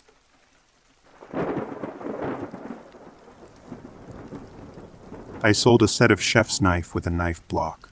The guy asked me to hold it for him until the weekend. Then he flaked on the first time we set to meet up. He later flaked on the second meetup. Each time I had spoken to him, he sounded like he had some sort of mental disability or was not all there socially.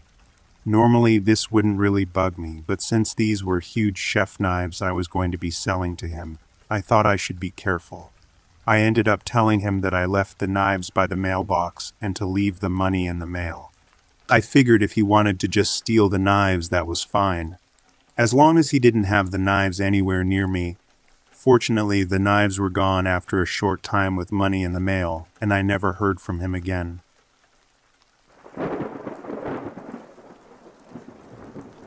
Throw away for some very obvious reasons.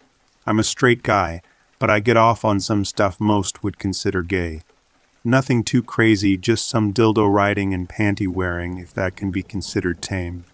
Anyway, I chucked an ad up on Craigie's looking to be blown by a guy, so I could finally ditch the curiosity that has always lingered in the back of my head. Met this one guy who was early 50s who seemed to be really nice, kind of like a loving dad type of nice. Q picks back and forth, and I felt like meeting up. So we decide on a day, and he gets a hotel room.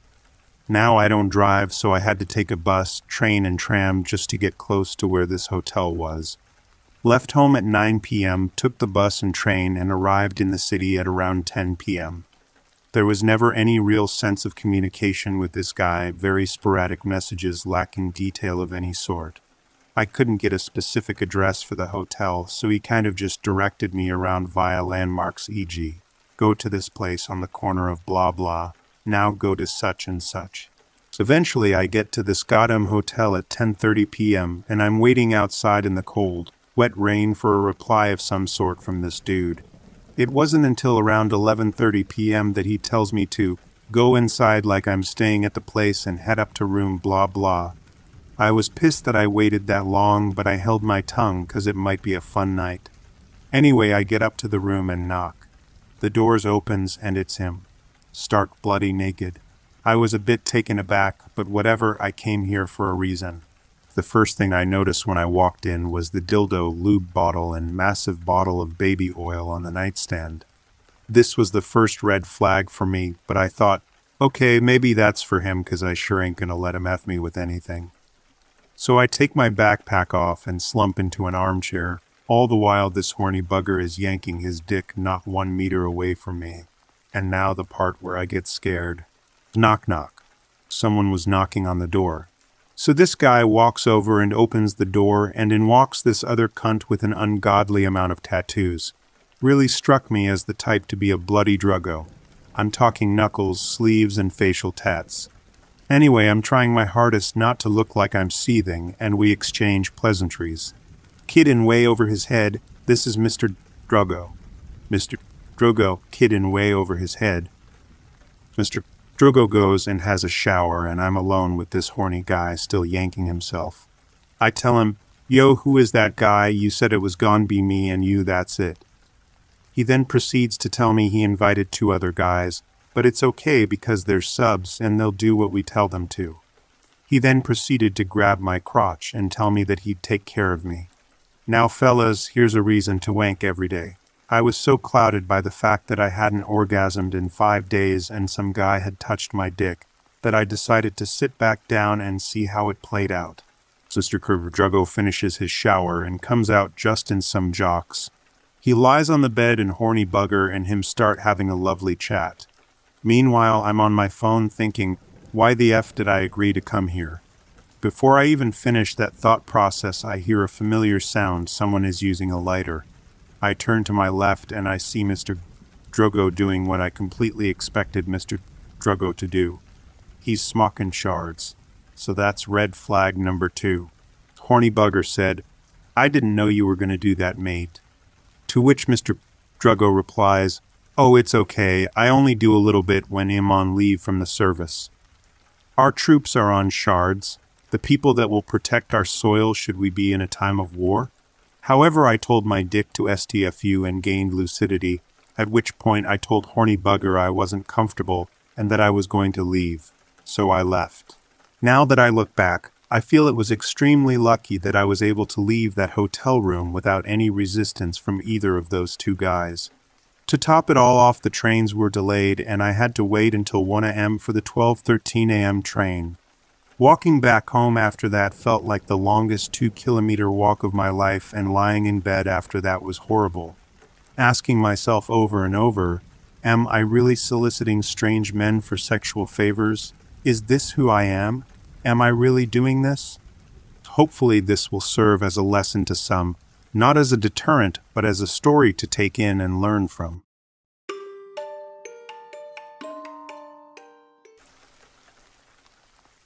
It all started with a Craigslist ad. I had just moved into a new apartment and being the broke post grad that I am, I had pretty much nothing to my name except a few boxes of stuff from my parents' house and a busted up box spring mattress. At that point, most days, I was sitting cross legged on the floor in the living room, eating off paper plates while binging Netflix from my laptop for hours at a time.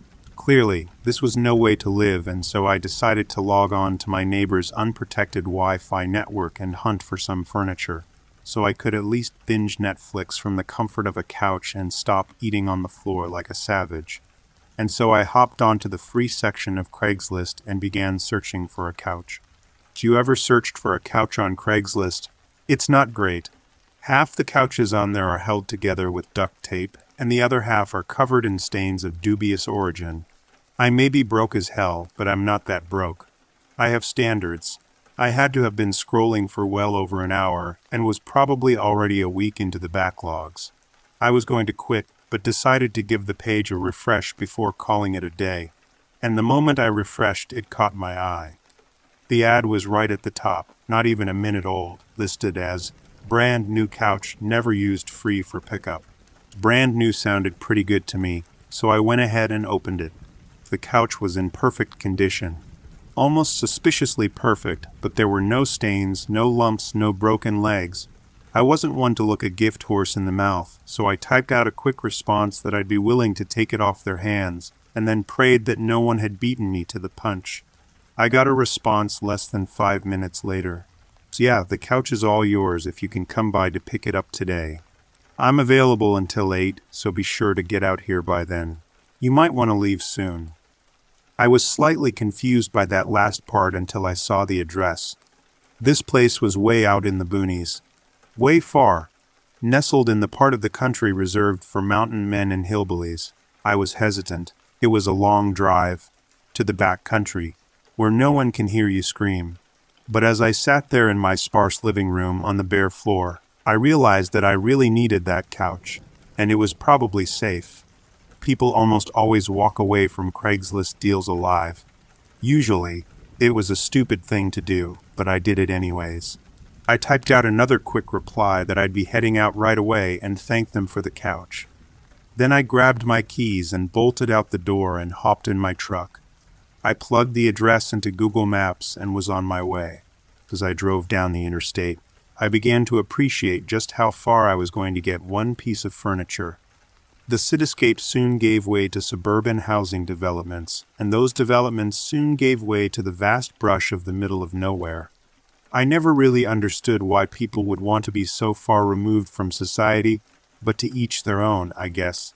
I had been driving through mountains and valleys for the better part of an hour when Google Maps finally spoke up. In 500 feet, take exit 23 for Arbor Road. I sighed in relief. I was getting closer. As I got off the freeway, Google chimed in again. Take the next right on Arbor Road. I made my way deeper and deeper into the countryside.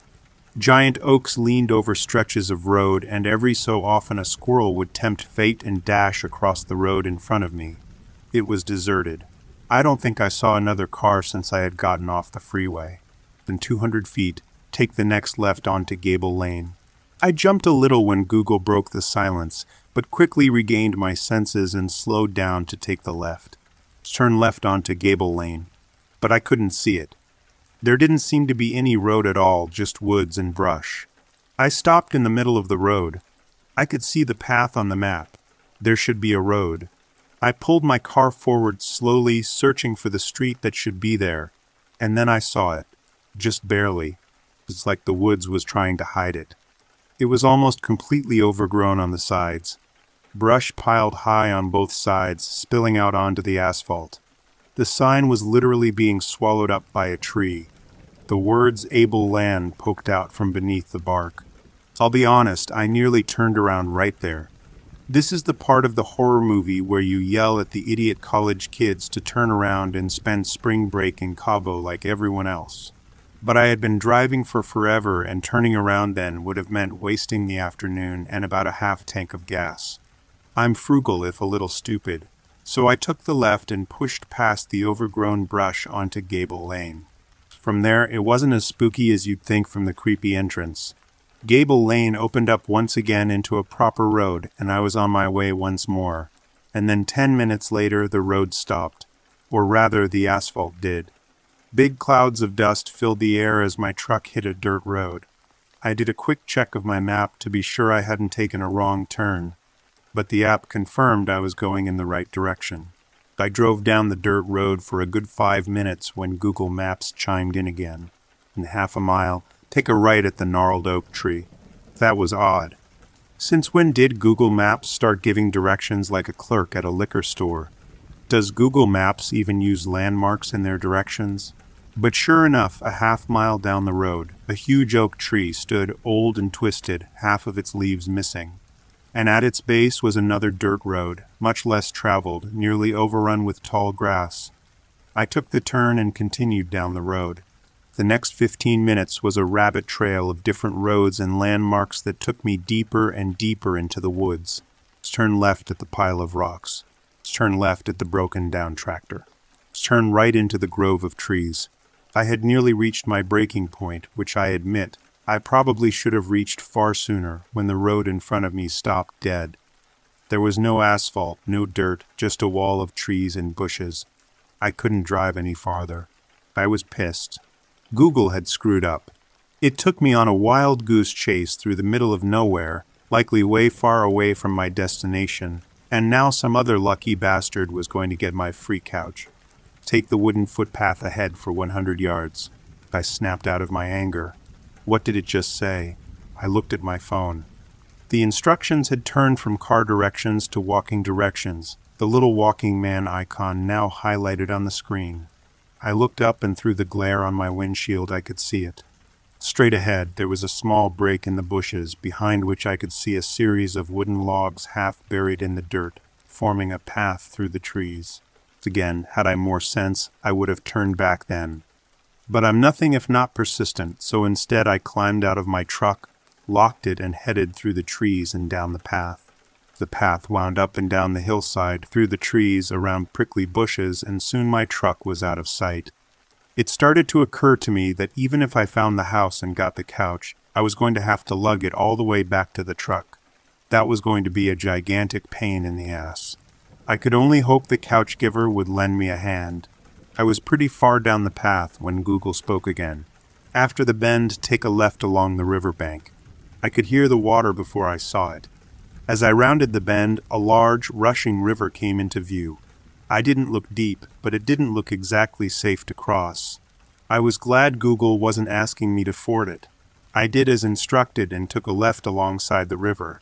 Google chimed in almost immediately. In 200 feet, take the fallen tree over the river. Of course. Of course I was going to have to cross the damn river. It wasn't long before I saw the tree. It was huge and long dead, devoid of any leaves and dry as a bone.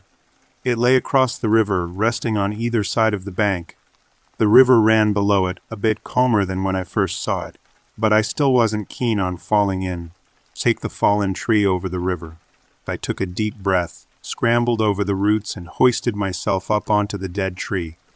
Why the hell not? I'd come this far. Even if there was no couch at the end of this, I'd at least have a fun story to tell. It was a slightly scary trip across the dead tree. I was certain at some point my foot would break through a rotten patch, and I'd turn my ankle or go sprawling into the water below. But aside from a few worrying creaks and cracks, I got to the other end with no problem. Google had started talking again before my feet even touched the ground on the other side. Take the path in the thicket ahead for 400 yards. All right, Google, you're the boss.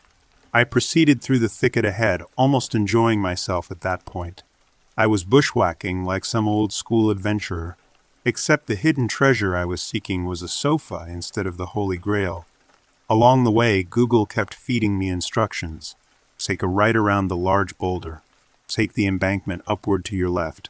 Keep straight past the hornet's nest. In 50 feet, take a right past the rotten stump. Looking back, the directions were impossible. How the hell would Google know that a hornet's nest would be on that tree? There's no way they were sending people down here to plot directions to some redneck's house in the butt crack of nowhere.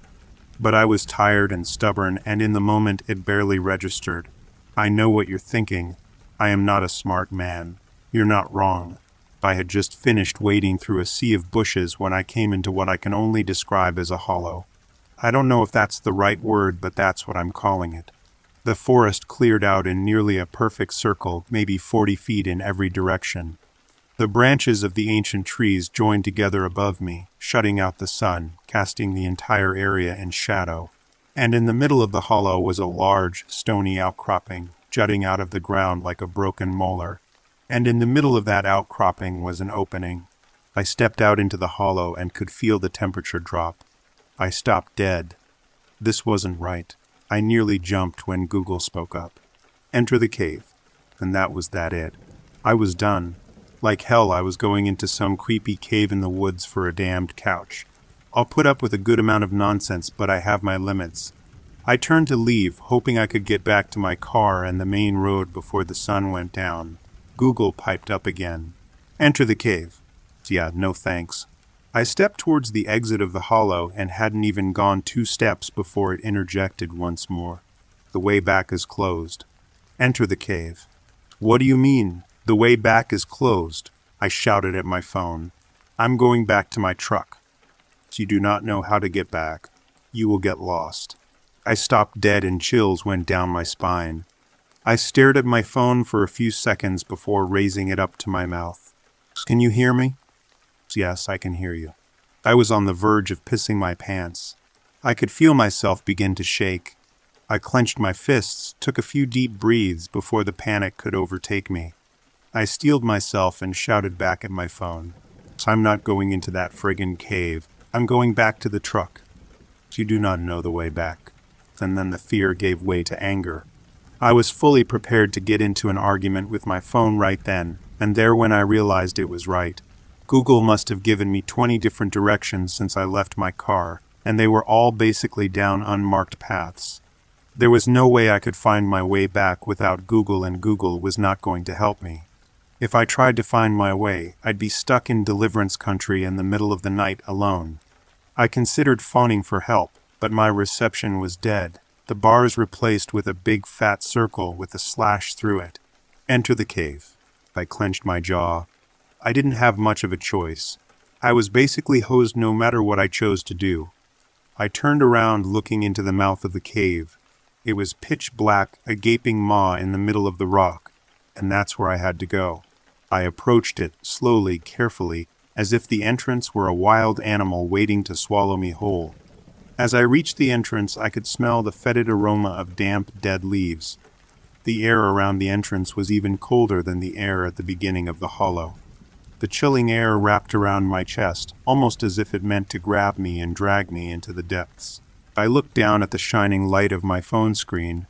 Google spoke once more. Enter the cave. I took a deep, shuddering breath, closed my eyes, and with all the courage I could muster, I stepped into the cave. Part 2. The moment I stepped into the cave, it was like all light blinked out of existence. It was darker than dark, completely pitch black. I turned my phone around, holding it in front of me like a priest with a crucifix, trying to banish the darkness away. It didn't work. I still couldn't see a thing. Google Maps spoke up. Continue forward for 150 feet, then turn right. I couldn't stop from chuckling to myself. A fat lot of good directions were when I couldn't see the hands in front of my face. I stumbled forward a few steps before the realization struck me. My phone had a flashlight app. I turned my phone back around and fumbled through my home screen until I found the app. I tapped it, and after a few seconds, a nice strong beam of light from the back mounted LED cut through the darkness and into the cave in front of me. Honestly, the cave wasn't terribly impressive. Pretty darn average as far as I could tell. The floor was dirt, littered with dead leaves and rocks. Vines hung from the ceiling, and the walls were solid stone. I reached out a hand and touched the walls. I withdrew it quickly. It was ice cold. I shivered. What the hell was I doing here? Continue forward for 150 feet, then turn right. Yeah, yeah, I replied, holding the phone back in front of me and making my way into the cave. The next stretch of time was basically uneventful. I took the next right I saw, and from then on it was mostly just a series of lefts and rights through the rocky, winding passages. If anything was remarkable, it was how deep the tunnels seemed to go. I had been walking for maybe 15 minutes. That may seem like a short amount of time, but you can cover a lot of distance even just walking. This cave system was vast, and I was only covering a short section of it. After a while, Google's voice broke through the silence. In 20 feet, take the passage on the left. Whatever you say, Google. I moved steadily forward, switching from looking ahead to checking the map on the screen. Soon I came to the turn. Take the passage on the left. I shined the flashlight to my left. A deep fissure ran from the ceiling to the floor of the cave. It was wide, but not exactly human friendly. I can't go through there, I scoffed. It's way too small. I turned the flashlight back to the wide open passage in front of me. Why can't I just go this way? They wait for you down that path. Do not go there. Well, that was creepy. I felt an involuntary shudder run down my spine. Who's waiting for me down there? I asked take the passage on the left. Okay, fine, be a cryptic asshole. Honestly, I was tempted to just say screw it and go down the broad path anyways. For all I knew, that was the way out, and Google Maps was just digging me farther and farther into a dead end. I shined the light down the path once more. It would be easier. But then again, the more I looked down the broad passageway, the more something felt off. I couldn't place it. But you know that feeling you get where your whole body just seems to be screaming at you that something's not right. Like your subconscious is reading the situation way more clearly than you are, and it's telling you to stay the hell away. Yeah, I was beginning to get that in spades. It wasn't until a few days later, looking back, that I realized what was wrong. The path was completely dark about 10 feet ahead of me. I don't mean dark like the rest of the cave. I mean completely black, my flashlight didn't illuminate anything 10 feet down the path. Not the walls, not the floor, nothing. It's like the darkness just swallowed the light. kept it from getting any farther. Who knows what would have happened if I had gone down that path even just a short distance. I still get the shivers just thinking about it. I turned the flashlight back towards the fissure inside. I guess I was doing this. I steeled myself and then phone first began to squeeze myself through the giant crack in the wall. Now, I'm not super hefty, but I'm not exactly a stick either. It was a tight squeeze. At several points, I had to breathe out a bit so I could fit through the hard, gritty hole in the wall. Luckily, it only took me a few moments to get through. The crack itself was only a couple feet deep, and soon I was out on the other side. I turned the flashlight into the area in front of me. It was bigger than I was expecting. I figured I'd just end up in more tunnels, but this was an entire chamber, maybe 30 feet high, 25 feet wide. Along the wall, broad outcroppings of rock stuck out at odd angles, creating lopsided shelves all the way to the ceiling. Climb to the top. What? I asked. Climb to the top. I shined my light up the wall, past the rocky shelves, and to the ceiling. It took me a few seconds, but then I saw it. It was a long, broad crack where the ceiling met the wall. It was even smaller than the fissure in the tunnel. You're kidding me, I breathed. But at that point, I was starting to get over the stupid crap Google was asking me to do. Arguing with it wasn't helpful, and honestly, giving up and going back seemed less and less likely as an option. But I walked over to the far wall and lugged my tired self up onto the first rocky shelf. I wasn't exactly thrilled to be climbing up a rock wall. I'm not in great shape, I went to a climbing gym once, tried bouldering. I fell and landed weird, nearly tore my ankle. So clinging to the side of the cave wall wasn't my idea of a good time. But I kept at it. Shelf after rocky shelf, I made my way up the wall. Some shelves were really broad, enough for me to lie on my back and catch my breath for a minute. Some were butt-clenchingly narrow, requiring me to lean flat against the wall and hope to God I didn't lean back an inch too far. Whenever I had solid enough ground, I'd turn my phone around and shine it down to the floor below. That wasn't a particularly good idea. 30 feet always looks much higher when you're at the top of it than when you're at the bottom. But I did it anyways. I guess I'm just curious like that. After what seemed like forever, I hauled myself up onto the last shelf and rolled over onto my back, my breathing ragged. I had done it. I had climbed to the top. I was contemplating just lying there and napping for a bit when my damn phone spoke up again. Continue forward for 30 yards. I closed my eyes and took a deep breath, trying to will away the annoyance. I gave myself a minute and rolled over, shined my flashlight at the space between the wall and the ceiling. My heart stopped. It was a long, deep gash in the wall, maybe 15 feet wide, but only a little over a foot tall. It made the fissure in the tunnel look like a thoroughfare. Oh God, I whispered to myself. Oh God, oh God, oh God. I could feel myself begin to panic, but I clenched my eyes shut and took a few calming breaths.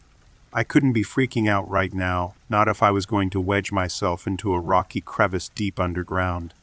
After a few moments of silently psyching myself up, I rolled onto my belly held my phone out in front of me, and Soldier crawled into the crack in the wall. I should tell you, I'm not claustrophobic. Not in the least. I've found myself in all sorts of tight spaces in life. Closets, crowded subway cars, a car trunk at one point. Tight spaces have never phased me. But in that moment, crammed literally between a rock and a hard place, you get claustrophobic really fast.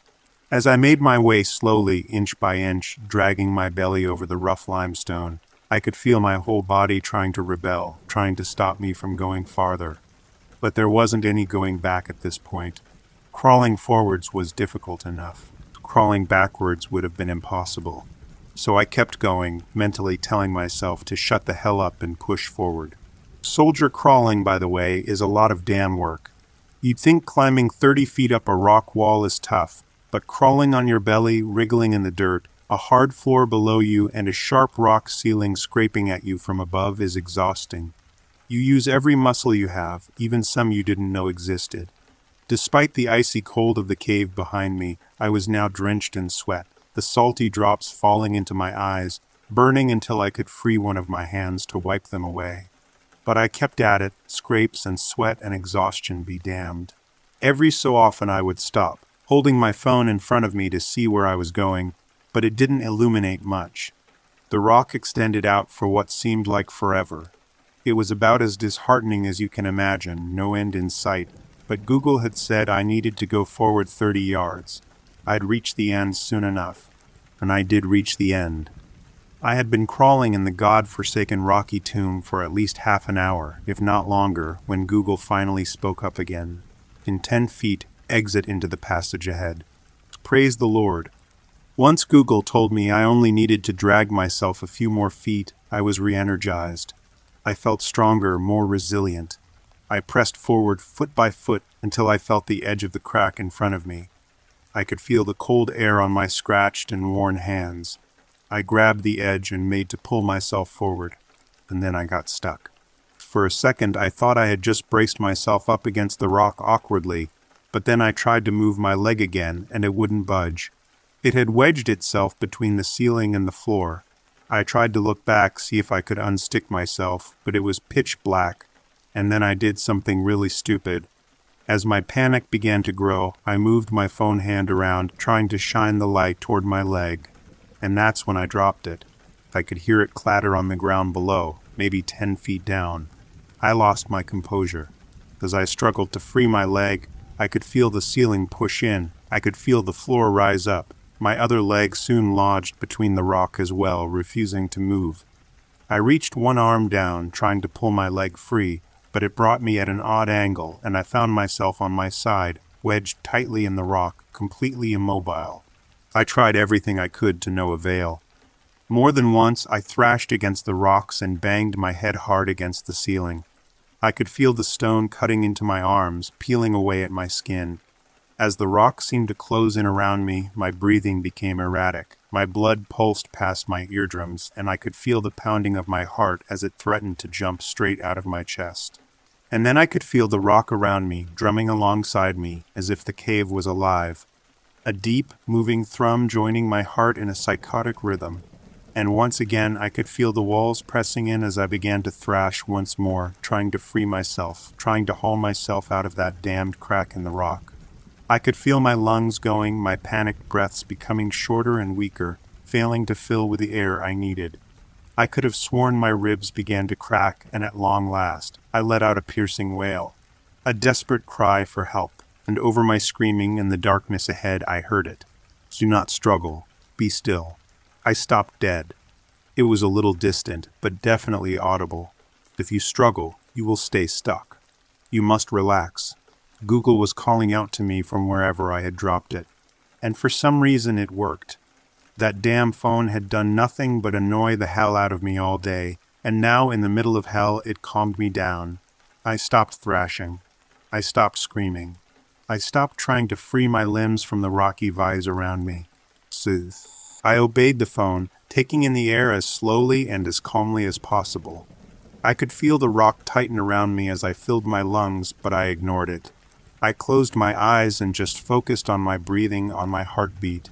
I shut out everything else the cuts, the bruises, the rocks, the sweat, the blood. And at long last I could almost feel the rock pull away as if it had decided to finally just let me go. From the darkness, Google's voice rang once again Exit the passage ahead. And I did. I had relaxed enough that, with a little rocking back and forth, I could free my arm from my side. Once I was back on my belly, I kicked my legs back and felt them dislodge from the rock behind me. And then I grabbed the edge of the crack with both my aching arms and pulled myself out into the cave. Luckily, the drop wasn't as high as I thought, maybe five feet. I tumbled to the ground and flopped over onto my back, gulping in the damp, cool air of the open passage. I lay there for what must have been ten minutes, and Google must have been trying to be considerate because I didn't hear a peep for a long time. And then once I had regained my composure, a light a few feet to my left turned on and Google spoke. Continue left down the path for a half a mile. I sighed and pulled myself up onto an elbow, reached out and grabbed my phone. Luckily, the screen hadn't cracked in the fall. I looked at it bemusedly. Really, I can't rest for five more minutes. Continue left down the path for a half mile. I rolled my eyes and hauled myself onto my feet, maybe a little too quickly. My body cried out from the bruises and cuts and stiff muscles, but I shook it off and half walked, half limped my way down the passage. Luckily, none of the half mile was interesting. No squeezing through fissures, no climbing cliffs, no creepy, unexplainable darkness ahead. And then slowly but surely the darkness around me seemed to lighten. The walls around me became clearer and more defined, and I was able to switch the flashlight on my phone off. I was rounding a corner when Google spoke up. In 100 feet, enter the light. And sure enough, 100 feet ahead, a shining point in the distance was the tunnel exit. Bright light poured into the tunnel, and I could almost feel the warmth on my skin, cutting through the frigid air of the cave. My heart skipped a beat, and my spirits began to lift. A smile crept over my face as I walked toward the light, happy to be leaving this dank hellhole at last. As it turns out, the light was even worse. It's part three. Seeing the light at the end of the tunnel had raised my spirits higher than they had been all day. I quickened my step, eagerly approaching the light, ready to get out of that damned cave. I was only a yard or two away from it when Google piped up suddenly. Close your eyes when you're in the light. I stopped dead, Suddenly the light seemed a little less friendly. Why? I asked, eyeing the light with hesitation. Close your eyes when you're in the light and do not open them. Are you always going to be this friggin' cryptic? Google remained silent. I sighed, rolling my eyes. Of course my day couldn't be getting better. That would be silly. I peered out into the bright portal ahead of me. Try as I might, I couldn't see past the blinding brilliance of it. No trees, no landscapes, nothing. It was just a big shining wall of light. What could possibly be in there that I wasn't supposed to see? But after Google helped me pull myself out of that crack in the wall, I honestly wasn't going to be too stubborn about following its directions. So I clenched my eyes shut and stepped through the exit of the cave and into the light. As I passed into the light, the darkness that blotted out my vision turned a brilliant, hot white and then, just as quickly, it faded into a dull, glowing pink as the light filtered through my eyelids. The oppressive chill of the cave was soon replaced by a cozy warmth.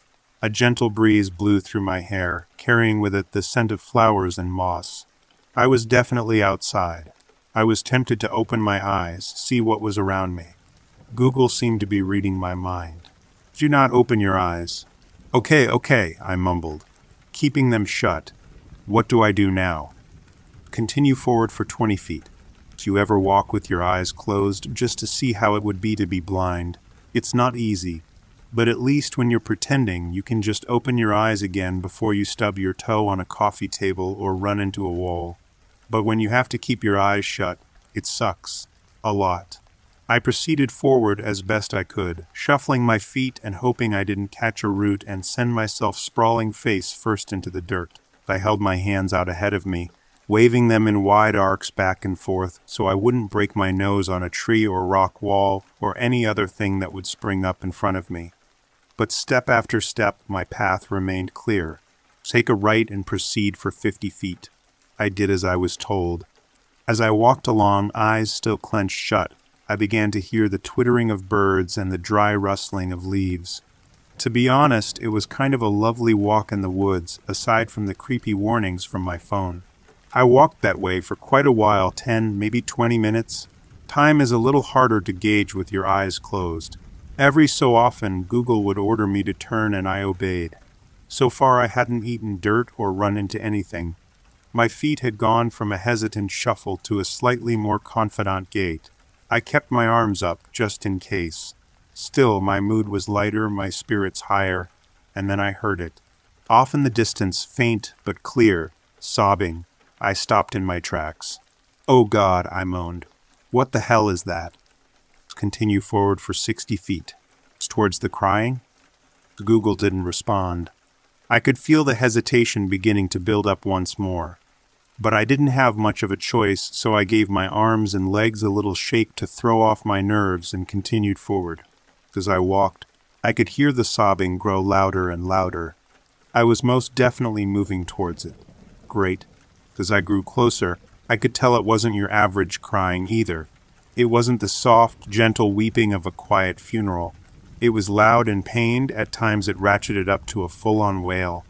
These were the heaving sobs of pure, unadulterated grief. It was one of the most unnerving things I've ever heard in my life, and I was getting uncomfortably close. After a minute or so, when it felt like I was nearly on top of the grieving stranger, the sobbing cut off, replaced by dead quiet. Let me tell you something. If creepy weeping in the woods is scary, it's infinitely scarier when it stops dead. I stopped walking, straining my ears, hoping to catch a whimper, a sigh. What I heard was worse running. I could hear the pounding of feet, the rapid crunching of leaves, the heaving, hurried breaths, and it was coming straight for me. My whole body clenched, I raised my hands even higher in front of me. I nearly screamed out. Google chimed in, Do not move. I froze where I was, listening in terror as whatever it was continued to rush towards me, coming closer and closer. Twenty feet, fifteen, ten. I braced for impact, but it didn't come. Instead, I could hear whatever it is throw itself down onto the floor in front of me. I could hear its frenzied, ragged breaths. They didn't seem angry or aggressive. They sounded scared, desperate. Oh, thank God, it was the voice of a young woman, a terrified young woman. Please, please, you have to help me. They're coming for me. Google, once again, must have been reading my mind because it spoke up immediately. Do not open your eyes. My breath caught in my chest. I clenched my eyes harder, fighting the urge to look upon the young woman, fighting the urge to help her. There was silence for a moment, and then the woman spoke up again. What are you doing? Her voice was confused, scared. Please, please, you have to get me home. I don't know where I am. Her voice was the most helpless thing I had ever heard in my life. Pathetic and desperate. It was breaking my heart. Was I just going to listen to a stupid phone? Could I really just do nothing while this helpless girl languished in the middle of the woods? For all I knew, her own damn phone brought her out here too, and just left her here to die. I wrestled with my conscience for what felt like minutes. She never stopped pleading. For the love of God, please, she yelled. Please help me. That is not a girl.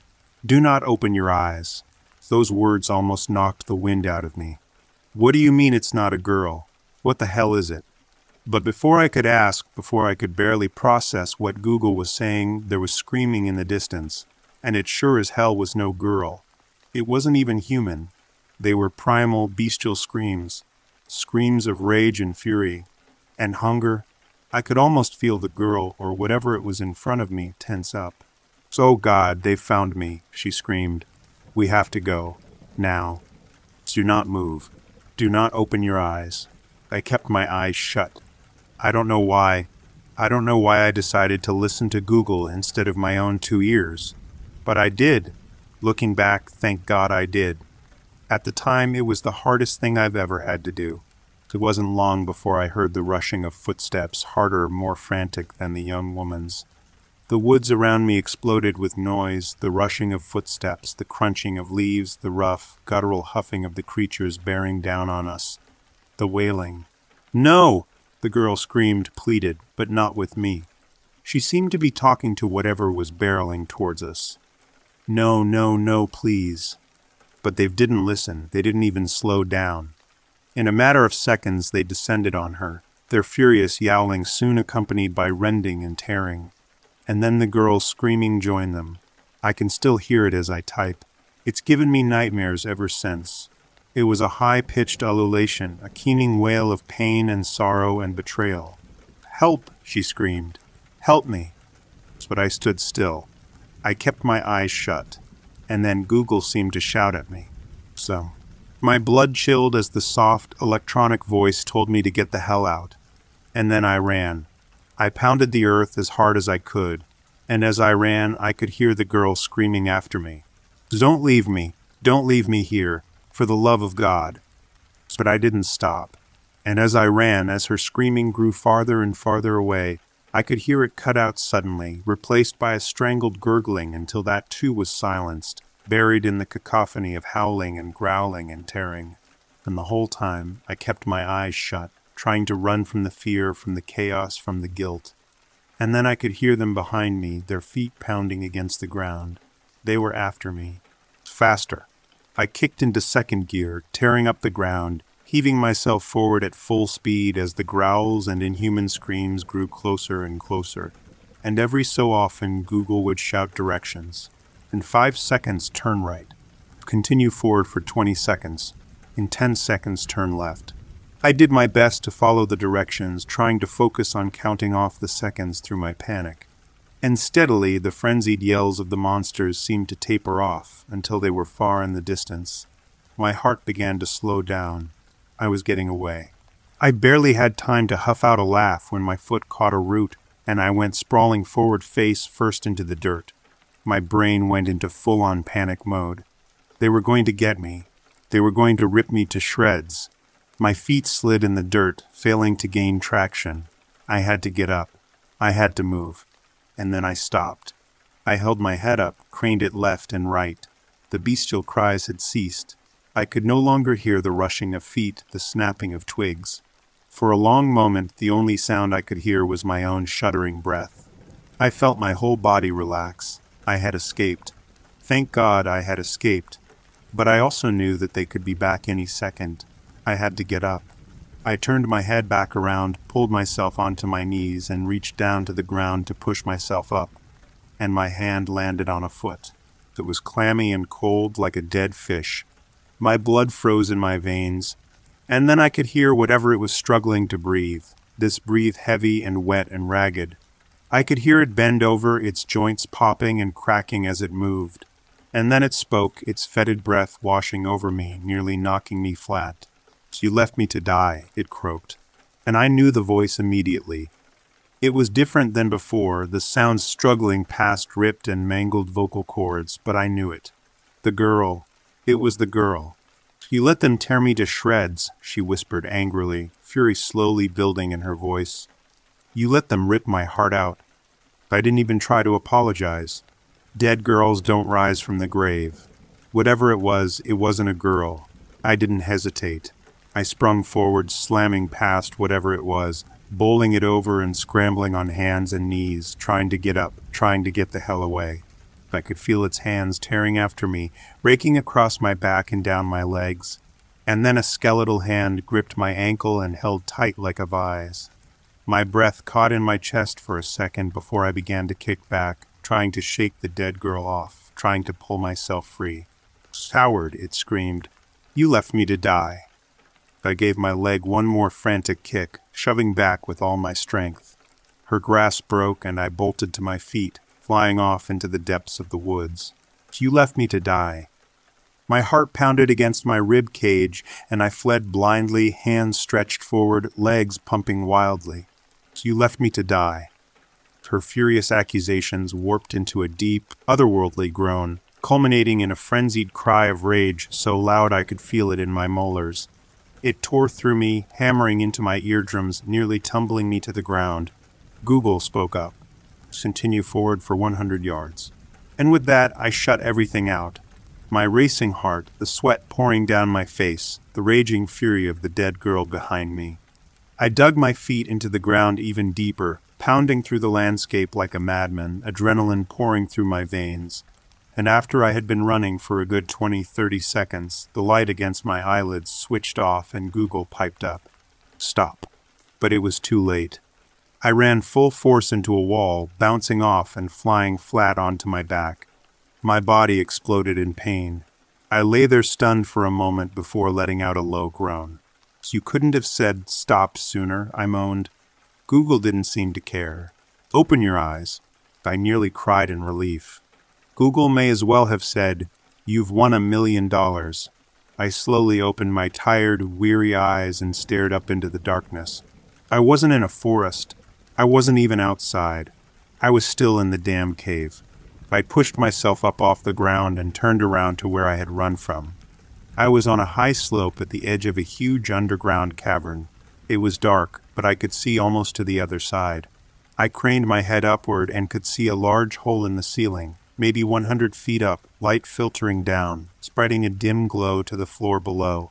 A floor covered in rocky outcroppings and a dense, murky cloud of fog.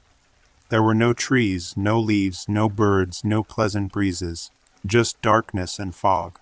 What the hell? I whispered. What happened to the forest?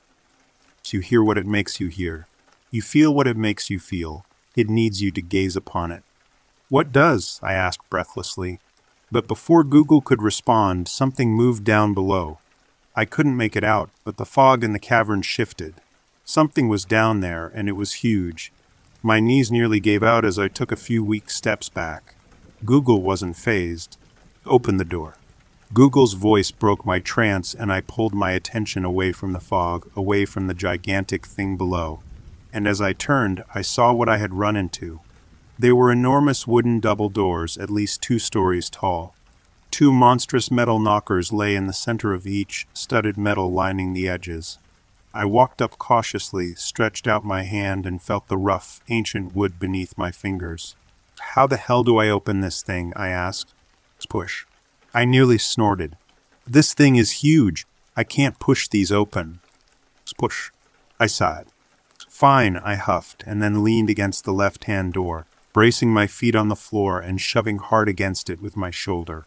And wouldn't you know it, it moved. Despite the size, the doors moved much easier than I was expecting. They didn't exactly fly open, but with a few rough pushes, I was able to force open a space big enough for me to squeeze through. Google spoke up. Enter. I held my breath for a moment. I wasn't sure I was ready for what was behind the door. I didn't know if my mind could take it, but then I looked back into the cavern behind me, into the roiling fog that held a living nightmare, and I realized I had to enter. So I squeezed my way through the crack in the door and gazed into the room before me. Then my jaw dropped to the floor. Final part. It took me a few moments to take in the space that greeted me on the other side of the gigantic double doors. It was a coliseum, and it was huge, the size of a modern NFL stadium. It stretched before me in a huge circle, the seats carved into the rock all the way around, and it was incredibly well lit. That's because there was no ceiling. Blinding daylight poured into the cavern from an open roof, the sky above a pale blue. But that's not what made my jaw drop. The floor of the Colosseum had been torn open, a big gaping hole smack in the middle, and rising out of that hole was something out of a nightmare. It was like someone had fused a man with a crab and a spider. Dozens of slender, jointed legs, as long as football fields, sprouted everywhere from its scaly body, erupting at odd angles, bracing the beast against the sides of the cavern, propping it up from the floor, and stretching out, seemingly cutting through the air. It seemed to be pulling itself out of the depths of the earth, rising up to greet the sky. It had a torso like a man, albeit covered in chitinous plates of armor, short spikes bristling over its chest, up its arms and over onto its back. Its strong, muscular arms reached up over its head, terminating in twisted hands which were open and grasping at the sky, claws the size of trees protruding from its fingertips. And then there was the head. It's hard for me to describe it. I don't have any real life thing to compare it to, but I knew the look on its face. It was fury. Pure, unfiltered rage painted over a face of scales and protruding ridges and more teeth than I could count. Its mouth gaped wide open, twisted, and contorted into a voiceless roar. It was deformed and unnatural. I'd never seen anything like it. I almost screamed. I could feel my chest tightening, ready to let loose a piercing shriek. But the scream never came. Google stopped me short. It is not alive. I jumped at Google's voice, stared down at the phone in my hand, and then looked back up at the demonic beast before me. And Google was right. I had been so blown over at the sight of it that my brain hadn't registered that it wasn't moving. It wasn't alive. It was a statue. The biggest statue I've ever seen in my life. It was the size of a skyscraper. Hundreds, possibly a thousand feet tall. It was hard to tell with something of that scale. All I do know for sure is that it dwarfed the stadium, casting wide shadows throughout the cavern. It was damn realistic, too. So much so that I was still having trouble processing it as a statue. Even from a distance, I could see the details perfectly every spike, every scale, every tooth and joint and nail. I don't know how long it must have taken to make this thing, but it must have been years, maybe even decades. Let's continue forward. I looked back at Google for a moment, I really wasn't keen on getting closer to that thing. Impressive as it was, it was still terrifying. Let's continue forward. I closed my eyes and sighed. Fine. Let's take a closer look. I proceeded slowly, step after halting step, never taking my eyes off the gargantuan statue. Part of me was convinced that the closer I got, the more likely the colossal beast would come alive, reach out with its deformed hands and snatch me up. But it didn't move. And after a few tense moments, I had walked from the door to the edge of the Colosseum. I stood at the top of a long set of steps that stretched hundreds of feet down to the floor below. I groaned. I knew what was coming next. Proceed to the bottom. Damn it. Fine, whatever. And so I went, step by step by step, descending deeper into the bowels of the Colosseum. As I climbed down the stairs, I noticed two things. First, as I drew closer and closer to the abominable statue, I became convinced that whatever it was depicting was real. I don't know why I became convinced of this. It's almost as if the knowledge just planted itself firmly in my brain. This thing had existed somewhere and some time. I knew it like I know that water is wet. At some point in time, this thing roamed the earth, and that knowledge shook me to me bones. I nearly had to stop when the thought hit me. It didn't seem possible, but I knew it was true. As I continued down the steps, I could only hope that it had died a long time ago. I wasn't so sure I could count on that, though. The second thing I noticed were the other statues. I was about halfway down the steps when I began to make them out. The statue of the raging beast was so huge it was easy to miss the others. But there were thousands of them arranged around the beast in concentric circles, each one getting bigger as they spread out from the creature like waves of water, continuing until they hit the seats at the edges of the stadium. It wasn't until I was near the bottom, though, that I could make out what they were. They were people. Each statue was a full scale replica of a human being, and each and every one lay prostrate on the ground, their faces buried in the dirt, their arms lying flat in front of them, their legs folded beneath them. As I stepped out onto the floor of the Colosseum, I wandered close to one, leaning in to inspect it, half expecting Google to tell me to stop. But Google didn't say a word. The statue in front of me was different from the gigantic hell beast. Unlike the beast, the statue of the human was featureless and smooth. It was less a reproduction of a human as it was a blank template of one. Bending over, I could get a glimpse of where its face would be, but there wasn't one there. Standing back up, I swept my eyes over the stadium floor. All of them were like this smooth, featureless, more stone than human. Looking back up at the beast in front of me, at the intricacies and loving attention to detail, I understood why. It wasn't laziness. It wasn't to save time. It wasn't because there were too many to spare any attention to detail to. It was purposeful. It was a statement. Compared to the nightmarish demon rising from the depths, humanity was nothing. They didn't warrant any attention to detail. They were meaningless, replaceable, interchangeable in comparison to the glory of the monster before them. The only value they had was to prostrate themselves before the beast for mercy, for hope, out of sheer devotion. I could feel the bile in my stomach begin to churn. Clearly, whoever built these statues held an amount of reverence for the thing from the depths. I held no such reverence. I couldn't scrounge up an ounce of awe for something who could view us like this. I could feel the anger begin to boil my blood when Google interrupted. Approached the statue. I didn't even stop to wait for Google to finish. I knew where this was going. I began to stride toward the behemoth, my steps growing longer and faster. As I made my approach past the throngs of empty human bodies, I could feel the resentment bubbling up. I had been put through hell for this. I endured unknown horrors for whatever this thing was. And I had no choice. I had no way back. So screw it. You big scaly bastard, you want me, you can have me. You want to swallow me up into that hole. Fine. Let's just end this. Now. Soon I passed under the shadow of the demon, the light around me dimming, and ahead I could see where I was going. A small set of stairs rose from the floor of the stadium, butted up against the massive fissure in the rock, and atop that staircase was a landing with a large vertical stone slab maybe 10 feet tall, a small hole halfway up the surface. Climb the stairs. I ignored it again. I didn't need its directions. I approached the foot of the landing and looked up at the foreboding stone wall at the top. I took a deep breath and began my climb. And as I reached the top of the steps, Google's voice rang in the silence of the Colosseum. You have reached your destination. I just stood there, staring at the rock wall in front of me. It was covered in deeply carved runes from top to bottom, the characters forming intricate swirls and loops and waves across the surface, all culminating around the hole in the center, wrapping around it like the coils of a python. And I knew I would have to reach into that damn hole. It was pretty damn obvious. As I said, by this time, I was basically over the whole thing, so I was about as ready as I ever would be to just shove my hand right in and let whatever happened happen. But I stopped for just a moment, peered into the hole in front of me. It was oppressively black, like a solid wall of darkness.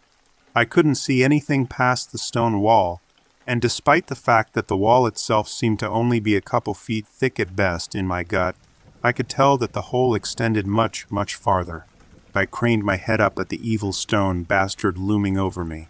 Is this what you want? Fine, you can have it. And I shoved my arm into the hole. At first, I didn't feel a thing. I figured I'd at least feel some kind of extreme cold of the void or something, but it was almost pleasantly warm. I shook my arm around a bit to see if anything would happen, but it was almost disappointingly uneventful. I had my hand dangling in the void for close to a minute and was considering pulling it out when it happened. Faster than I could process it, something cold and wet wrapped tightly around my arm. I yelled in shock. It traveled from my hand up to my elbow and pulled hard, slamming my body into the rocky wall. I could feel it tightening over me. I struggled to pull my arm out. I didn't have any delusions that I could win this fight, but I was pissed enough to not let it take me easily. I couldn't tell what it was exactly, whether it was a tentacle or a tongue, but it was somehow smooth and rough at the same time, traveling over my skin like slimy sandpaper, threatening to tear the flesh off of my arm. The grip tightened even more, and I was certain it was about to snap my arm in two. I could feel the force against my bones, pushing them to their limits, my arm screaming from the pressure. And then it bit me. Or something like that. My arm exploded in white hot flames, and I felt tens of thousands of needles plunge deep into my skin, burrowing into the muscle. My screams sliced through the air, my head reared back, my mouth wide open. I could feel the needles pulsing in and out, in and out, joined soon by what felt like hundreds of little mouths, sucking hungrily, lapping up the blood as the needles drew more and more of it up to the surface of my arm. And as the pain threatened to shut me down, to turn my brain off, I looked up at the nightmare creature above me, glared at it in defiance. Kill me if you want, I thought. Take what you want from me, but I'm going to be an asshole about it. You aren't getting any reverence from me. And with every ounce of strength I had, I raised up my free arm and gave the hell beast the finger. And then, as quickly as it started, the tentacle thing let go, like it had straight up vanished into thin air, and my arm came loose from the hole. I nearly fell backwards down the stairs, but was able to steady myself, wobbling a little precariously at the edge of the steps. Honestly, I was a little surprised to still be alive, let alone still have my arm.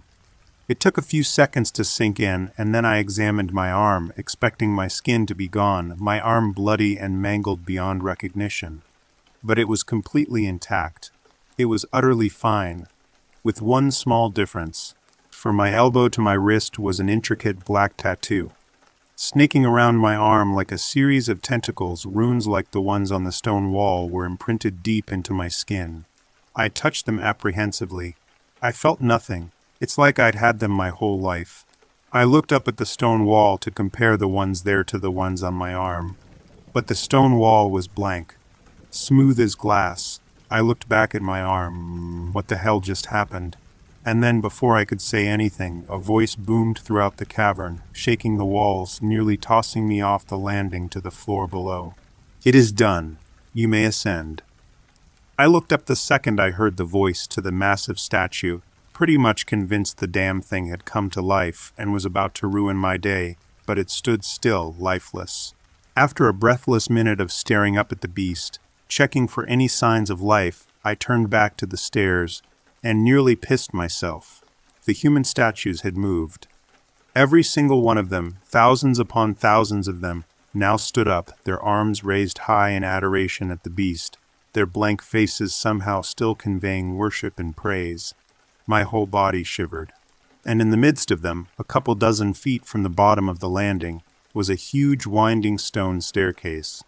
My eyes followed it as it wound upwards and into the sky above. I guess that's what the voice meant by ascend.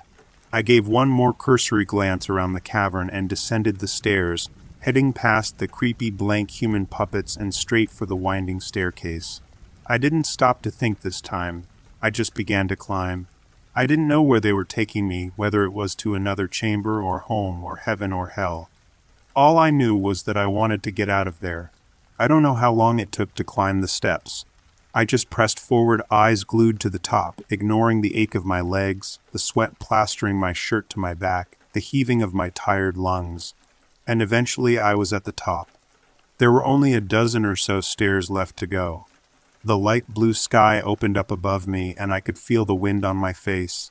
I closed my eyes and breathed in the fresh air. Then I gave one more look down into the hellhole I had climbed up from. The disgusting monstrosity was far below, its arms stretched up in rage.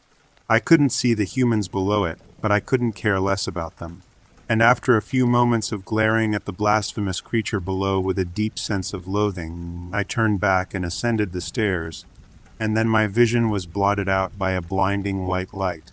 And then I was back at the truck, just like that, just standing at the driver's side door. I looked around for a second. Had I just zoned out? Had I been hallucinating? But then I lifted up my arm. The tattoo was there, wrapping around my arm. It was real. It happened and it was over. Now I could go home. I didn't waste any time. I fished my keys out of my pocket, unlocked the door, and climbed into the truck. As I was taking my seat, Google spoke up again. I ignored it, unlocking my phone and closing Google Maps. Luckily, I had a signal, so I downloaded Waze because screw you, Google Maps. Then I punched in my address and headed home. I got there no problem. No detours into the unknown, no sketchy directions. I arrived home under a starlit sky. I unlocked the door, walked straight to my bed, and collapsed. I don't know how long I slept, but by the time I got up, it must have been well after noon. I checked my arm once more, hoping it would be a dream, but the tattoo remained, reminding me that I couldn't forget what happened the day before. I got up and took a shower to wash all the sweat and dirt from my little foray into the cave. Then, as I was entering the living room, I spied an envelope on the floor right at my front door. Someone had dropped it through the mail slot while I was asleep. I walked over, picked it up, and flipped it over. In bold magic marker, the word couch was scrawled across the front. I opened it up. It was filled with an absurd amount of cash. And so I went ahead and bought the best damn couch I could find.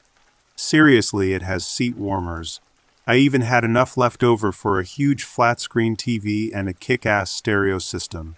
And as I sit on my awesome couch and binge Netflix in 4K and think back to everything I had to go through to get them, I realize that I was royally boned in that particular transaction. Seriously, screw those guys, whoever they are. And every so often, I just sit there in my living room, running my fingers over the runes inked into my arm. Runes that aren't the same every time I wake up and I think back to the last thing Google said as I entered my truck and goosebumps break out over my skin. When he comes, answer the call.